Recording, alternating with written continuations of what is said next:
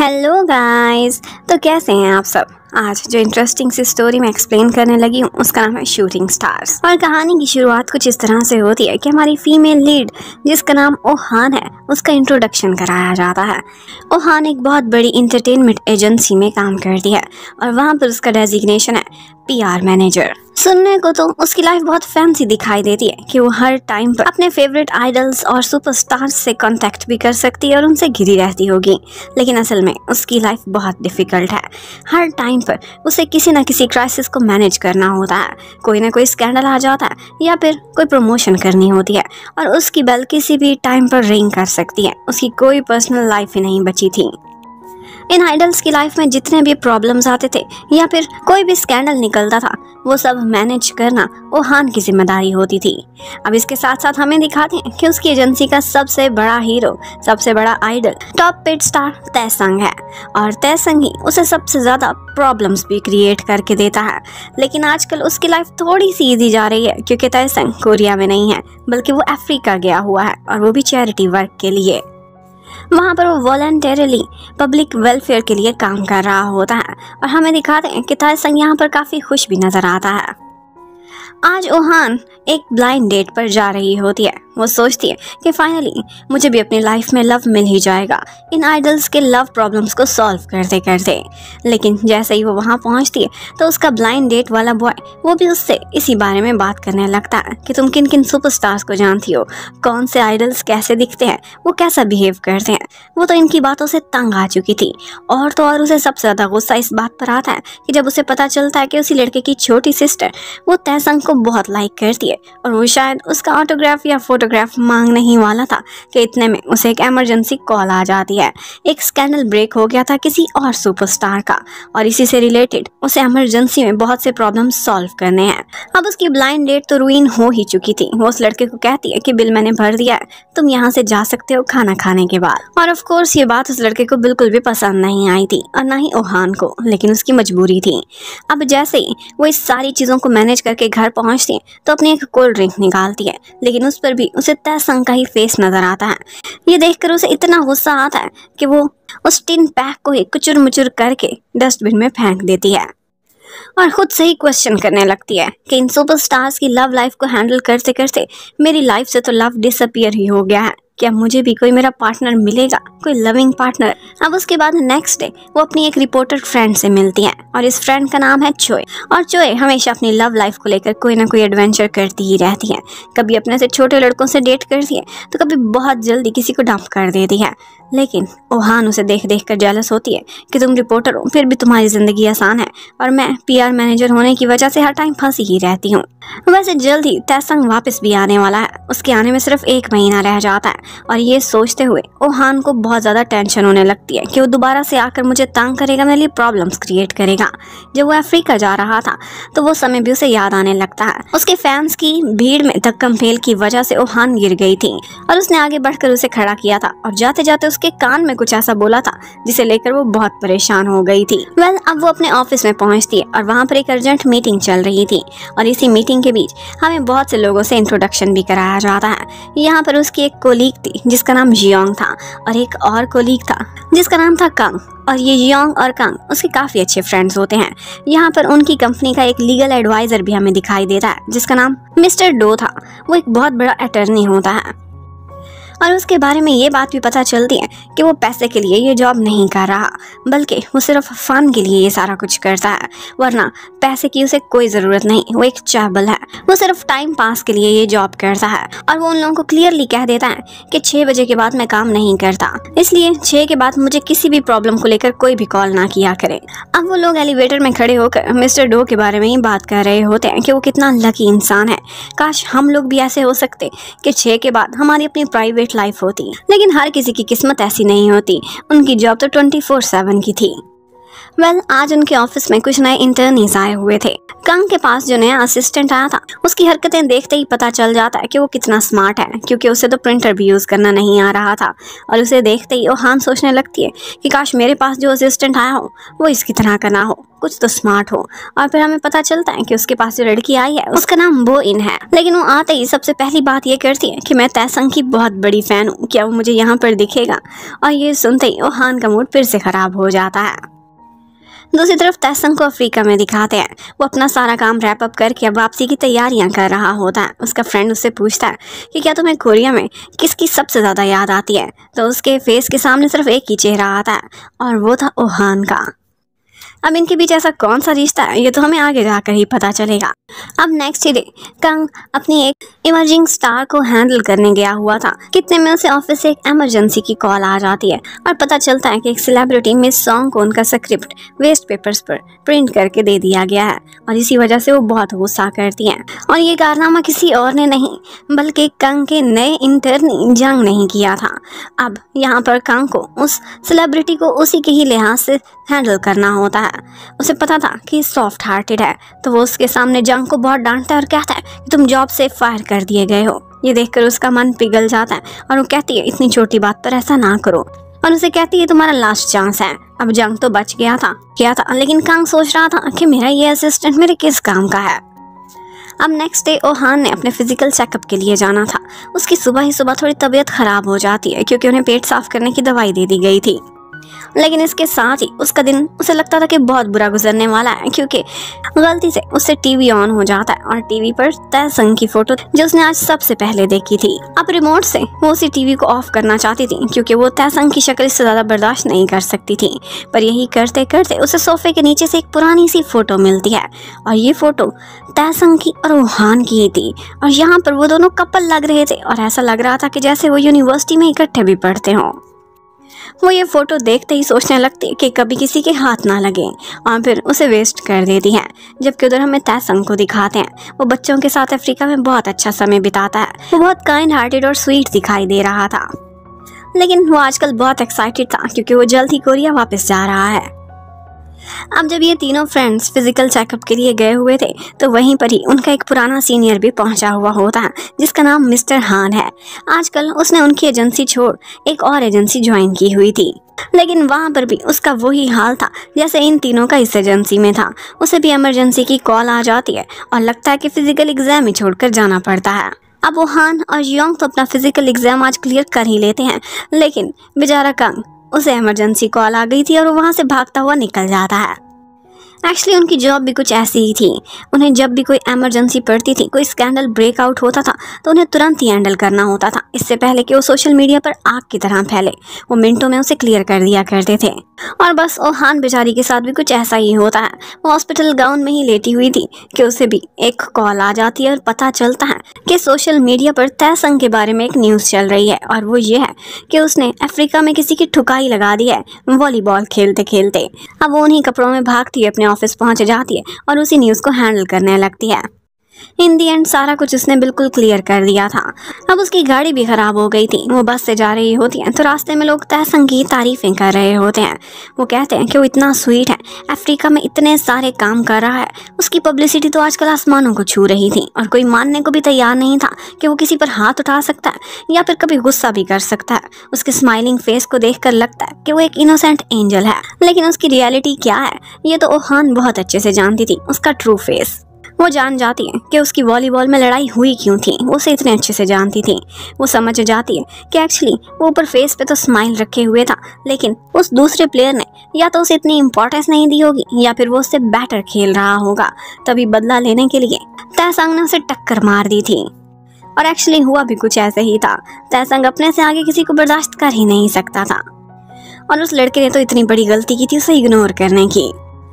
Well well, अब next day Kang office में आता है तो वो कहने लगता है कि आज मुझे अपने असिस्टेंट जंग की एक बहुत बड़ी क्वालिटी पता चली है और वो ये है कि वो एक परफेक्ट ड्राइवर है। एक्चुअली इससे पहले वो एंबुलेंस की गाड़ियाँ ड्राइव किया करता था और वो इतना स्मूथ ड्राइवर है कि उसे किंग ऑफ़ ड्राइवर्स बोला जाए तो गलत नहीं होगा। वेल well, अब ओहान अपनी कॉफ़ी लेने के लिए जा रही होती है कितने में पीछे से कोई उसे आवाज़ देता है। वो मुड़कर देखती है तो सरप्राइज़ रह जाती है कि तैसंग वापस आ गया है। उसे तो तीन दिन बाद आना था।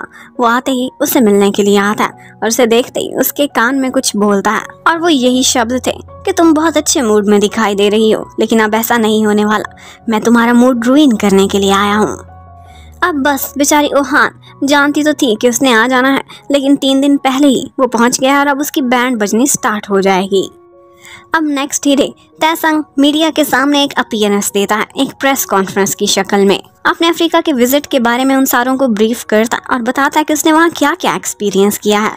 और फिर इसी बीच, वो ओहान की तरफ़ देखते हुए मीनिंगफुल वर्ड्स बोलता है। और वो ये थे कि मैं कोशिश करूँगा कि मैं अच्छे मूड में रहूँ।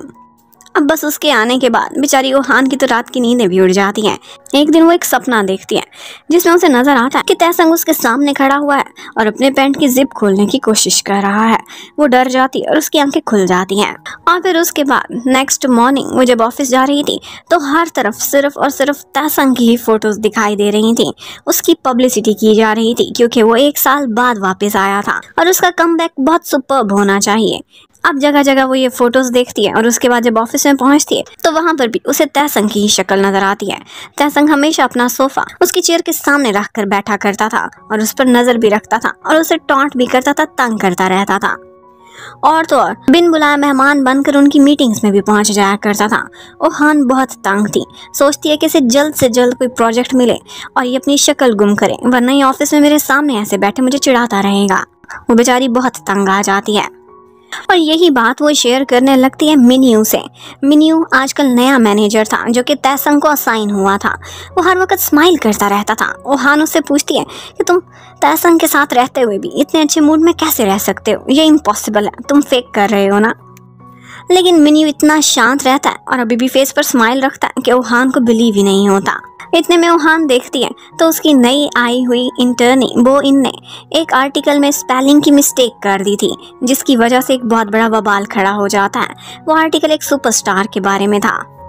इससे पहले कि क्रिटिक्स और सोशल मीडिया के दूसरे लोग इस पर मीम्स बनाना स्टार्ट करते, वो तुरंत ही उस आर्टिकल में एडिटिंग करा के उसे बिल्कुल ठीक करा देती है। लेकिन इसी बीच वो बहुत फ्रस्ट्रेट हो गई थी और उसने दो चार चीखें भी मार दी थी। उसका हमेशा से रिएक्शन ऐसा ही होता था। और तैसंग उसे इस तरह से फ्रस्ट्रेट होता देख बहुत इंजॉय करता है। लेकिन साथ ही साथ उसे कहता है कि तुम वो इनको क्यों डांट रही हो? क्या तुम भूल गई हो? छह साल पहले तुमसे भी ऐसी ही मिस्टेक हुई थी। ये सुनते ही ओहान उसके मुँह पर हाथ रखती है और उसे अपने साथ रूफ टॉप पर ले जाती है और कहती है कि वो इंसिडेंट प्लीज़ मत दोहराना। मैं तुमसे बहुत दफ़ा माफ़ी मांग चुकी हूँ। लेकिन तैसंग कहने लगता है कि तुम्हें क्या लगता है? छह साल क्या? छह सौ साल हो जाए मैं फिर भी ये नहीं भूलूँगा। तुमने मेरे बारे में क्या लिखा था? मुझे आज भी रात को ढंग से नींद ही नहीं आती। मुझे तुम्हारे उसी आर्टिकल की वजह से साइकोलॉजिकल इश्यूज़ भी होने लगे हैं। एक नहीं, तुम्हारी सौ माफियाँ भी कम है। अब ये इश्यू क्या था? इसी को लेकर सारे लोग आपस में डिस्कशन करने लगते हैं, जो कि ऑफ़िस में नए थे। वो सोचने लगते हैं कि ऐसा कौन सा इंसिडेंट हुआ था छह साल पहले, जिसे लेकर ओहान और तयसंग की आज लड़ाई हुई है।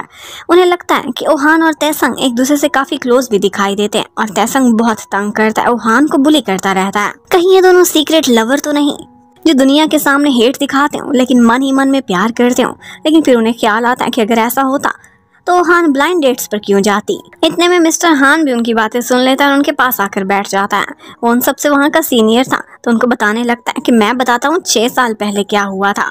तब वहाँ ने नई नई जॉब स्टार्ट की थी और यहाँ पर उससे एक टाइपिंग एरर हो जाता है और ये आर्टिकल था तैसंग के बारे में, जहाँ पर उसने लिखना था कि तैसंग इज़ इंपॉर्टेंट लेकिन वो तयसंग इज़ इम्पोर्टेंट लिख देती है। और इम्पोर्टेंट का मतलब होता है नामर्द और बस, जैसे ही ये आर्टिकल पब्लिश होता है, उसके बाद मिनटों में ही ये वायरल भी हो गया था। और इसके साथ साथ और इसके साथ साथ तयसंग के बारे में उल्टी सीधी मीम्स हर जगह वायरल हो जाती है। इतनी बड़ी गलती, ये गलती नहीं, बल्कि एक डिजास्टर था, जो कि उस टाइम पर ओहान कर चुकी थी। और उसके बाद, और उसके बाद वो क्लैरिटी देते हुए एक रिपोर्टर को कह देती है कि नहीं नहीं तयसंग ऐसा नहीं है, बल्कि वो वेरी हेल्दी है। और फिर वेरी हेल्दी को लेकर भी उस पर और मीम्स बनने लगती हैं। बेचारे की रेपुटेशन का बैंड बच जाता है।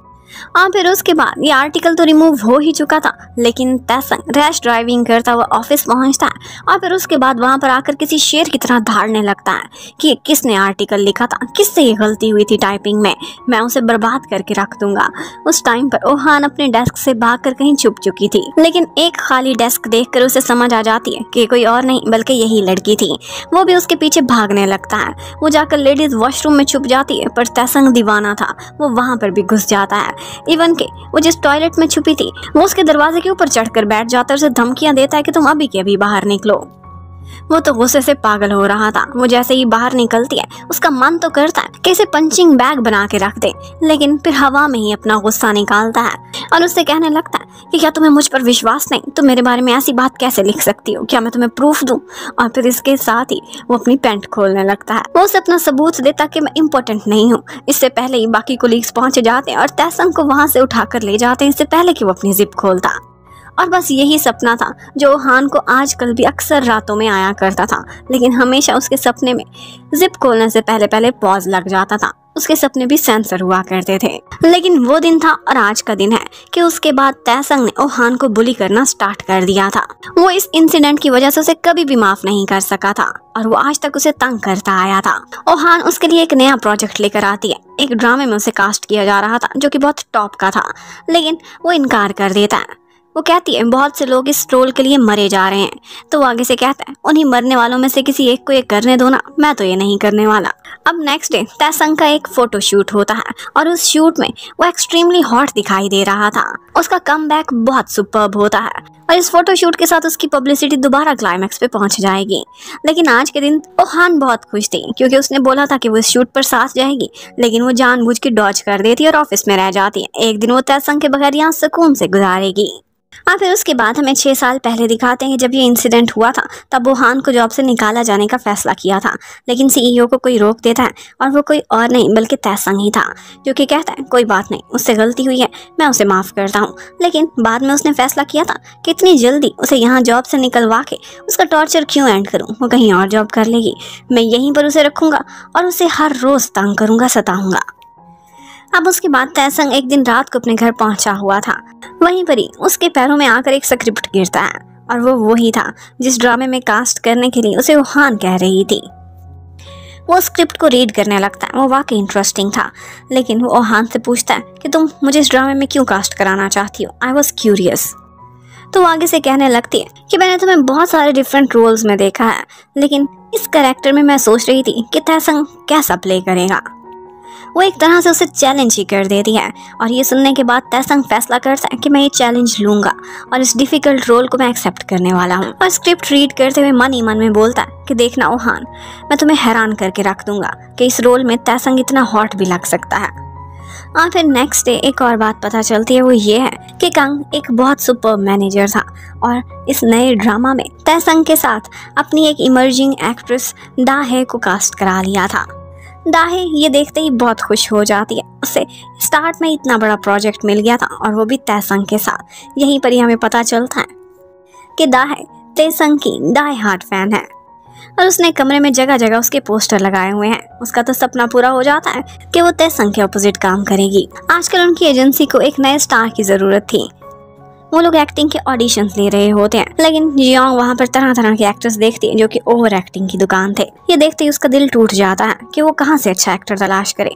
लेकिन उसके बाद उसे एक जगह पर एक शेफ दिखाई देता है, जिसके बाहर लड़कियों की लाइन लगी हुई थी। वो जाकर देखती है तो वो शेफ एक्सट्रीमली हॉट था और उसकी लुक्स बिल्कुल एक सुपरस्टार वाली थी। उसे देखते ही कोई भी लड़की दिल दे सकती थी। वो सोच लेती है कि मैं इसे अपनी एजेंसी का सुपरस्टार बना कर ही रहूँगी। जबकि वो हाँ ना जाते हुए देखती है कि एक बोर्ड था, जिस पर तैसंग की स्माइलिंग फ़ोटो लगी हुई थी। उस फ़ोटो के अंदर आज किसी ने गाड़ी ठोक दी थी।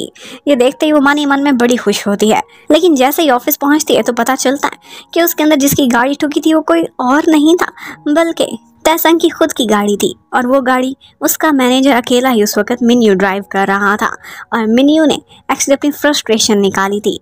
तैसंग उससे भी बहुत तंग करता था।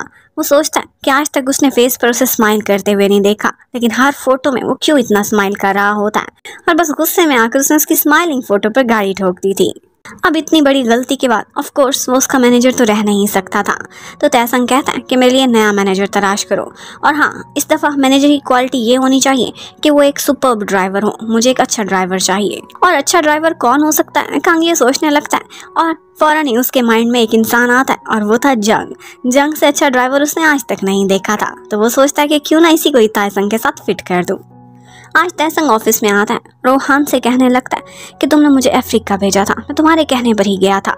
वो आगे से कहती अपनी फैक्ट्स राइट करो। मैंने सिर्फ़ कहा था, तुम मानो या ना मानो, तुम्हारी मर्ज़ी थी। लेकिन वो आगे से कहने लगता है कि वहाँ पर तुमने मुझे एक दफ़ा भी कॉल नहीं की। वो मन ही मन में बड़ा दुखी दिखाई दे रहा था और इसके साथ ही हमें पता चलता है कि उसे जब भी कोरिया से कोई पार्सल आते थे तो उसमें तलाश करता था कि कुछ तो ओहान ने भी भेजा होगा, शायद कोई लेटर कोई गिफ्ट या फिर एक कॉल ही कर दे। लेकिन उसने कभी भी उससे कॉन्टैक्ट नहीं किया था। वो उसकी कॉल सुनने के लिए तरसता था और तो और कभी वीडियो कॉल करता था और पीछे ऑफ़िस में उसे ओहान दिखाई देती थी। तो उसका मन करता था कि ये आए और मुझे हाय बोले, लेकिन वो हमेशा उसे इग्नोर करके निकल जाती थी और इसी वजह से उसे कभी कभी रातों को नींद भी नहीं आती थी कि वो मुझे इतना इग्नोर कैसे कर सकती है। अब इसी लम्हे उनकी पीआर टीम को एक न्यूज़ मिलती है और वो न्यूज़ ये थी कि तैसंग की एक गर्लफ्रेंड है और वो उसकी यूनिवर्सिटी टाइम की स्वीट हार्ट भी है। वो जब फ़ोटोज़ देखते हैं तो पता चलता है कि वो फ़ोटोज़ तैसंग की ओहान के साथ हैं। उन्होंने एक यूनिवर्सिटी से पढ़ा था और वहीं से ग्रेजुएट किया है इकट्ठे। वो दोनों लव बर्ड्स हुआ करते थे। ये देखते ही वो लोग हैरान रह जाते हैं कि ये कैसे पॉसिबल है। और यही फ़ोटो वो जाकर ओहान को भी दिखाते हैं। और दोनों ने ये न्यूज़ क्लियर कर दी थी। फैलने ही नहीं दी थी, लेकिन फिर भी ओहान बहुत ज़्यादा परेशान हो जाती है कि आइंदा कभी ये फ़ोटो सामने ना आए। अब तैसंग पार्किंग में जा रहा था तो वहीं पर ही वो देखता है कि उसका एक को स्टार है, जिसका नाम जूइन है। वो इतने अरसे बाद उसे देख रहा था। उसे देखते ही बड़ी खुशी से मिलता है, लेकिन जूइन उससे कहने लगता है कि मेरे पास बहुत कम समय बचा है। प्लीज़ मुझे माफ़ कर देना अगर मुझसे कोई भी गलती हुई हो।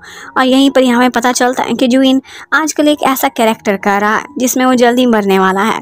और इस कैरेक्टर में वो इतना घुस गया है कि वो रियल लाइफ में भी ऐसी ही एक्टिंग करने लगता है। और तो उसने खुद को तो पागल बनाया हुआ था और अपने साथ साथ वो अपने मैनेजर को भी साइको बना देता है। और जब उसका लास्ट सीन शूट होता है, जिसमें उसकी जान जा रही थी तो उसके बाद वो तो होश में ही नहीं आता।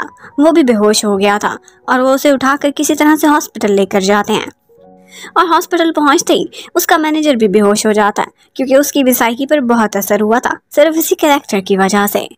जो इनके इतने इस करेक्टर में घुस जाने और ओवर एक्टिंग की वजह से, जबकि उधर योंग उसी शेफ के पास पहुँच जाती है। वो उसे कन्विंस करने की कोशिश कर रही थी कि तुम सुपरस्टार बन जाओगे, हमारी एजेंसी बहुत बड़ी है, लेकिन उसे इस सब में कोई इंटरेस्ट नहीं था, वो साफ़ इनकार कर देता है। अब उसके बाद योंग अपने बॉस के पास एक दफ़ा जाती है और उसे बताती है कि मुझे एक हिडन जेम मिला है। वो बहुत बड़ा सुपरस्टार बन सकता है, उसमें हर क्वालिटी है। लेकिन वो एक्टिंग के लिए, या सुपरस्टार बनने के लिए मान ही नहीं रहा। मैं उसके बहुत आगे पीछे चक्कर लगा रही हूँ। तो आगे से मैनेजर उसे कहने लगता है कि, पता है लोगों को साइन करने के लिए बहुत ज़्यादा इंड्योरेंस चाहिए। और इसके साथ ही वो अपने स्टोरी सुनाने लगता है, जब उसने तय संघ को तैयार किया था अपनी ही एजेंसी में सुपरस्टार बनाने के लिए। वो बोलता है, एक ब्रिलियंट सा ब्राइट सा सनी डे था, जब मुझे तय संघ नज़र आया था। वो तब स्कूल स्टूडेंट हुआ करता था। मैंने उसे देखा था और पहली नज़र में पहचान गया था कि वो एक आइडल का फेस है। लेकिन बताता है कि उसकी एक्टिंग और उसकी सिंगिंग जितनी ज़बरदस्त है, उतनी ही ऑफुल उसकी आर्टिस्ट वाली स्किल्स थी, जो कला वो अपने पेपर पर उतार रहा था, वो किसी बच्चे के जैसी थी। वो बताता है कि तैसंग ने आगे पीछे मेरे से बहुत चक्कर लगवाए, वो कभी भी नहीं मानता था। इन दी एंड उसने मुझे धमकी भी दे दी थी कि अगर अंकल आप मेरे पीछे आए तो मैं पुलिस को इन्फॉर्म कर दूँगा। अब योंग एक्साइटेड हो जाती है और पूछने लगती है कि फिर आपने उसे कैसे मनाया? मैनेजर उसे अपने करीब बुलाता है और कहता है ये तो एक सीक्रेट है, जो मैं तुम्हें कभी भी नहीं बताऊँगा।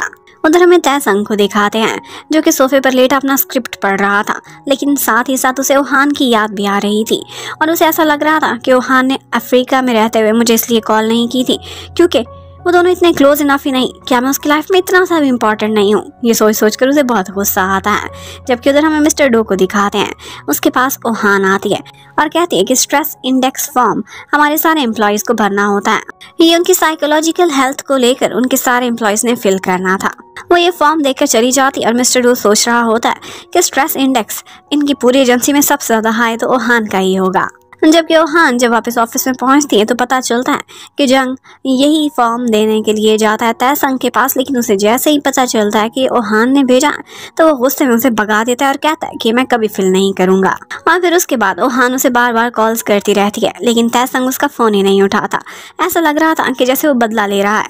पूरा एक साल अफ्रीका में उसने उसे कॉल भी नहीं की थी और अब वो उसे कॉल्स करवा करवा के सता रहा था और ख़ुद फ़ोन नहीं उठाता था। जबकि दूसरी तरफ़ हमें एक बात पता चलती है और वो ये थी कि तय संघ का पुराना मैनेजर जिसका नाम मेन्यू था, वो अब तो एजेंसी से निकाला जा चुका था। लेकिन अब वो मिस्टर हान के साथ काम करता था। उसने उसे अपने साथ हायर कर लिया था और वो कहने लगता है कि यहाँ पर स्ट्रेस दूसरी कंपनी की नस्बत काफ़ी कम है।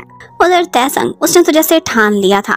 स्ट्रेस इंडेक्स फॉर्म मैंने भरना ही नहीं है और जितना हो सके मैक्सिमम स्ट्रेस दिलाना है ओहान को। वो बार बार उसे कॉल्स करके कन्विंस करने की कोशिश करती है पर वो मानता ही नहीं है। अब ओहान को इतना ज़्यादा टेंशन होने लगती है कि वो अपने आप को रिलीफ फील कराने के लिए आज सिनेमा जाती है। थिएटर में बैठती है तो पता चलता है कि इकलौती वहाँ की कस्टमर वही है। वो बड़े मज़े से मूवी देखने लगती है। उसे वैसे ही बहुत ज़्यादा वीआईपी फील हो रहा था, लेकिन इतने में एक और कस्टमर भी उसके साथ आकर बैठ जाता है। लेकिन पता चलता है कि वो कोई और नहीं, बल्कि तैसंग है। ओहान कुछ भी बोलती, उससे पहले ही तयसंग उसे खामोश करा देता है। और उसका और उसका स्टाइल कुछ इस तरह का था कि ओहान को पुरानी यादें आने लगती हैं। ऐसा लगता है कि जैसे उन्होंने पहले भी एक दफ़ा इकट्ठे मूवी देखी थी, और शायद वो यही मूवी थी। अब वो मूवी खत्म होने के बाद तयसंग उसे बताता है कि ये मेरा पर्सनल सिनेमा है। अपनी प्राइवेसी के लिए मैंने पूरा का पूरा थिएटर ही बुक करा लिया होता है। ये सुनकर वो कहने लगती है कि कभी कोई अच्छे काम भी कर लिया करो, कोई पुअर की हेल्प भी कर दिया करो। वो आगे से कहने लगता है कि इतने सारे कुएँ खुदवाए हैं पूरा एक साल अफ्रीका में जाकर रहा हूँ। अब इसके बाद तुम मुझसे और क्या चाहती हो? वो फिर से उसे ब्लेम करने लगता है कि तुम्हारी वजह से मुझे अफ्रीका जाना पड़ा। लेकिन वहान कहने लगती है कि ऐसा कुछ नहीं है। चाहो तो हम किसी और से डिस्कस कर लेते हैं। तुम्हें पता चल जाएगा कि तुम्हारी गलती है या मेरी। अब वो एक कॉमन फ्रेंड के पास जाते हैं और उसी से ये बात डिस्कस करने लगते हैं। अब एक साल पहले का सीन दिखाते हैं। मिस्टर कंग के साथ तयसंग आ रहा था, लेकिन कंग को पेट में दर्द होता है तो वो तयसंग को आगे अकेला ही भेज देता है। और यहाँ पर तयसंग को हाँ नज़र आती है, वो उससे मशवरा लेने लगता है। कहता है कि मुझे ऑफ़र आ रही है कि अफ्रीका में जाकर कुछ वॉल्टियर वर्क करूँ। वो आगे से कहने लगती है कि तुम्हारा फेस ही नहीं है वॉल्टियर वर्क करने वाला। कहीं से भी नहीं लगता कि तुम लोगों की हेल्प कर सकते हो या फिर इतने दिन अफ्रीका में रह सकते हो। अब ये सुनते ही उसे ऐसा लगता है कि जैसे मुझे ये चैलेंज कर रही है। उसका चैलेंज एक्सेप्ट कर लेता है और बहुत गुस्से में ऊँची आवाज़ में बोल देता है कि देख लेना फिर, मैं तो मैं करके दिखाऊँगा। मैं पूरे एक साल के लिए अफ्रीका जा रहा हूँ। और उसी टाइम पर जब वो साथ वाला दरवाज़ा खोलता तो पीछे पूरा पूरा मीडिया खड़ा हुआ था। और उन्होंने ना सिर्फ़ उसकी फ़ोटोग्राफ ले ली थी बल्कि ये बात भी सुन ली थी। और उसका इस तरह से गुस्से में बोलना एक अनाउंसमेंट की तरह पूरे मीडिया पर वायरल हो जाता है कि तयसंग एक साल के लिए अफ्रीका जा रहा है वॉल्टियर वर्क करने के लिए। अब इसमें गलती किसकी थी? तयसंग की या ओहान की? ये तो कोई भी नहीं सुलझा पा रहा था। लेकिन इन दी एंड कंग वहाँ पर कह देता है कि गलती तो सारी मेरी है, जिसका उस दिन पेट खराब हो गया और तुम दोनों का आमना सामना हो गया। या फिर गलती उस दरवाजे की थी कि वो वहाँ पर क्यों लगा हुआ था और उसके पीछे मीडिया वाले खड़े थे? अब नेक्स्ट सीन में हम देखते हैं कि तयसंग अपने घर पर बैठा हुआ था। वो एक न्यूज़ देखता है और वो ये थी कि एक लेजेंडरी एक्ट्रेस यून सीवू उसकी अपने हस्बैंड से डिवोर्स हो गई है। ये देखते ही एकदम तायसंग अपसेट हो जाता है और उसे कुछ पुरानी यादें आने लगती हैं। ऐसा लगता था कि जैसे सीवू से उस तायसंग का बहुत पुराना रिश्ता है, तब का कि जब वो बच्चा हुआ करता था। लेकिन इतने में उसे ओहान की कॉल आ जाती है और ओहान बार बार उससे कह रही थी कि प्लीज़ वो फॉर्म फिल कर दो, लेकिन वो मानता ही नहीं है। ओहान को भी उसे टीज करना अच्छे से आता था। वो दोबारा से उसे चैलेंज करती और कहती है कि तुम्हारा काम है सिर्फ़ स्ट्रेस देना, इसलिए तुम्हारा तो कोई स्ट्रेस में लेवल आएगा ही नहीं। वो आगे से कहता है कि तुम्हें क्या पता, हम सुपरस्टार्स की अलग टेंशन होती हैं। वो दोनों चैलेंज कर लेते हैं। अगर तो स्ट्रेस लेवल ओहान का ज़्यादा आएगा तो वो जीत जाएगी और जो भी वो कहेगी, बिना कंप्लेंट्स के तैसंग को करना पड़ेगा। लेकिन अगर तैसंग का स्ट्रेस लेवल ज़्यादा हाई आया तो बदले में वो कहता है कि ओहान, तुम्हारी तीन महीने की सैलरी कटवा दूँगा। अब उसके बाद हमें हॉस्पिटल का सीन दिखाया जाता है, जहाँ पर योंग आज जून हूँ से मिलने के लिए आई हुई थी। वो और उसका मैनेजर दोनों हॉस्पिटल में एडमिट थे और यहाँ पर वो सारे इकट्ठे बैठकर उसके ड्रामे की वही लास्ट एपिसोड देखते हैं, जो शूट कराते कराते ही वो बेहोश हो गया था। और वो देख देख कर वो तीनों बहुत रोते हैं। एक्चुअली जून हूँ का दिल बहुत छोटा था और साथ ही साथ उसके मैनेजर्स और असिस्टेंट का भी। वहाँ पे यहीं पर ही हमें फ्लैशबैक भी दिखाते हैं। एक्चुअली जियोंग ने जब जूनहो को हायर किया था तो पता चलता है कि वो एक बैंक में काम किया करता था। उसके आगे पीछे चल के उसकी मिन्नत करके उसने उसे स्टार बनवाया था। वो कहता है कि मैं कभी भी एक्टर नहीं बनना चाहता था, लेकिन आज मैं रिग्रेट नहीं कर रहा। मुझे ये काम करने में फन लगता है, क्योंकि हर करेक्टर नया होता है, हर प्रोजेक्ट भी। दूसरी तरफ़ आज चॉय की तबीयत खराब हो जाती है और उसे अपने साथ हॉस्पिटल में लेकर ओहान आती है। लेकिन वो जैसे ही हॉस्पिटल पहुँचती है तो पता चलता है कि चॉय को एक अर्जेंट वर्क आ गया है। वहाँ पर एक एक्टर था, जो खड़ा हुआ हॉस्पिटल के स्टाफ से लड़ाई कर रहा था। ये सीन वो अपने फ़ोन में रिकॉर्ड कर लेती है और उसके बाद वहीं के वहीं बैठे इतनी तकलीफ़ में उसने अपलोड भी करना होता है सबसे पहले। इवन के उसे देखते हुए वहाँ पर डॉक्टर्स भी पहुँच जाते हैं और उसे घसीट कर अपने साथ ले जाना चाहते थे। लेकिन जॉय को अपने काम की इतनी टेंशन थी कि उसे पकड़ कर वहाँ से लेकर जाना पड़ता है और वो बस चीखती चिल्लाती रह जाती है कि मेरी अभी अपलोडिंग पूरी नहीं हुई।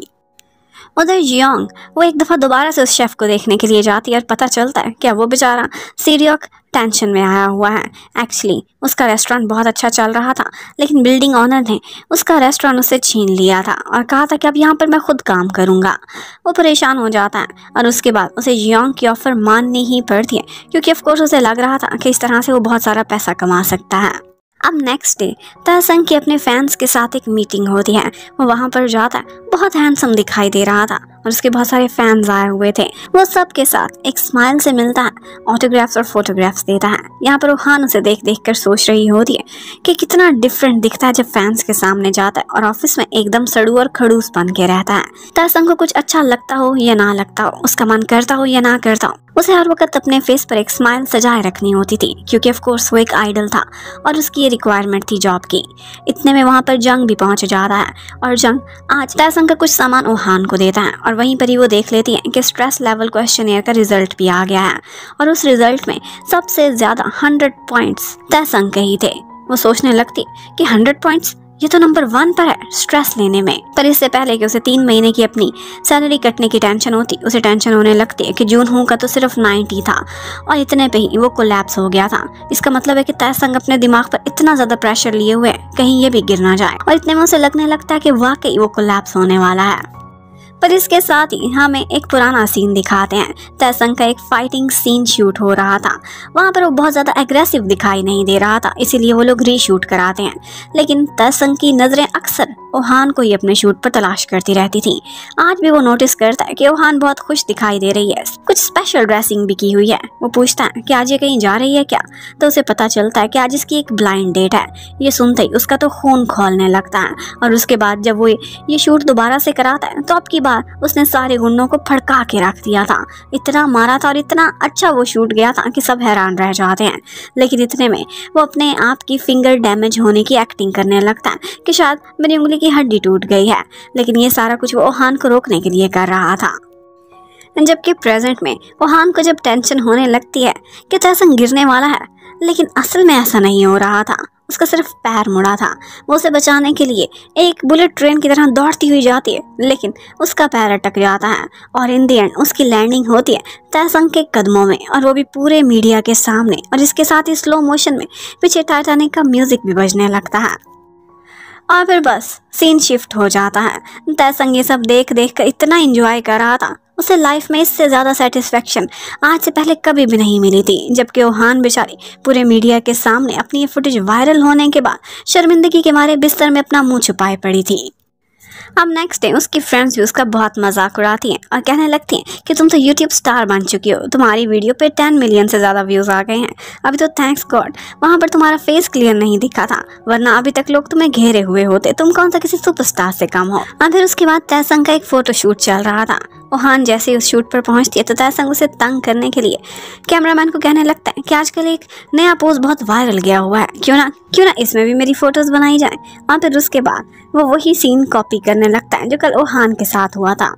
लेकिन ये करते हुए भी सारे उसकी बहुत तारीफ़ कर रहे थे। कि आप तो इस स्टाइल में भी बहुत हैंडसम लगते हैं, और ओहान बेचारी का तो दिल ही जल जाता है। अब उसके बाद वो ओहान के पास आता है और उसे कहने लगता है कि देखो, बैठा, तुम मुझसे हार गई हो। मेरा स्ट्रेस लेवल तुमसे कितना ज़्यादा है? अब तीन महीने की तुम्हारी सैलरी कटेगी। लेकिन वो बेचारी बेचारा सा मुँह बनाकर कहने लगती है कि मैं जितना एक साल में कमाती हूँ, उतना तो तुम एक घंटे में कमा लेते हो। क्यों मुझ बेचारी की सैलरी के पीछे पड़े हो? ये कहते हुए वो उसे बस दुआ देती हुई वहाँ से निकल जाती है कि काश तुम पर भी वो समय आए जैसा मेरे पर गुजर रहा है। अब नेक्स्ट डे ऑफ़िस में उन लोगों की एक मीटिंग चल रही होती है और वहाँ पर भी सीईओ बहुत खुश था, बहुत एंजॉय कर रहा था। उसी वीडियो को लेकर। कहता है कि मैंने पोस्ट किया है और हमारे ऑफिशियल पेज पर बहुत सारे व्यूज़ आए हैं। ये वाली वीडियो और इनडायरेक्टली ओहान, तुम तो हमें बहुत ज़्यादा वायरल कर रही हो। ओहान को ये सुन सुनकर शर्मिंदगी होती है और गुस्सा भी आता है। उसका फेस उस वीडियो में क्लियर नहीं आया था, लेकिन फिर भी वो उसकी पब्लिसिटी बढ़ा रहे थे। और तो और। मिस्टर डो ने भी वो वीडियो नहीं देखी थी तो वो उसको भी मेंशन करते हैं और कहते हैं कि वीडियो ज़रूर देखना। उसमें हमारी ओहान ने बहुत स्टंट दिखाए हैं, ये सुनकर वो मुस्कुराने लगता है। अब उसके बाद उस ड्रामे की सारी कास्ट आपस में एक मीटिंग करती है। यहाँ पर द ही भी आई हुई थी, जो की कंग के साथ थी। वो वहाँ पर तासंग को देख देख कर बहुत एक्साइटेड हो रही थी और कंग उसे बेस्ट ऑफ़ लक भी बोलता है। उसने पहली दफ़ा कोई ड्रामा शूट करना था, जो कि तयसंग के साथ था, और वो उसकी इतनी बड़ी फ़ैन थी। वहाँ पर सारे लोगों की कास्ट की आपस में मीटिंग होती है, और यहीं पर एक नई इमर्जिंग स्टार थी, जिसका नाम यूना था, और वो बहुत ज़्यादा एटीट्यूड में नखरे वाली लगती थी। लेकिन उससे ज़्यादा तो उसके मैनेजर को उसकी फ़िक्र होती थी, जो कि मिस्टर हान था, ताकि किसी से बिगाड़े ना, और पोलाइटली इसका काम यहाँ पर चलता रहे। अब नेक्स्ट ही डे एजेंसी में वो हॉट वाला शेफ भी आ जाता है, जिसका नाम सी डियोक था। और योंग उसका सबसे इंट्रोडक्शन कराती है और बताती है कि हमारे एजेंसी का नया सुपरस्टार बनने वाला है। और बहुत सी गर्ल्स उसे देखकर बहुत खुश भी हो रही थी, क्योंकि वो बहुत हैंडसम दिखाई देता था। जबकि उधर ताइसंग के घर पर आज एक ओल्ड लेडी आती है, जिन्हें वो बहुत रिस्पेक्ट से बुला रहा था और उनका नाम मिस वॉन था। ऐसा लग रहा था कि जैसे उनकी केयर ऐसा लग रहा था कि जैसे उसकी पुरानी केयर टेकर है।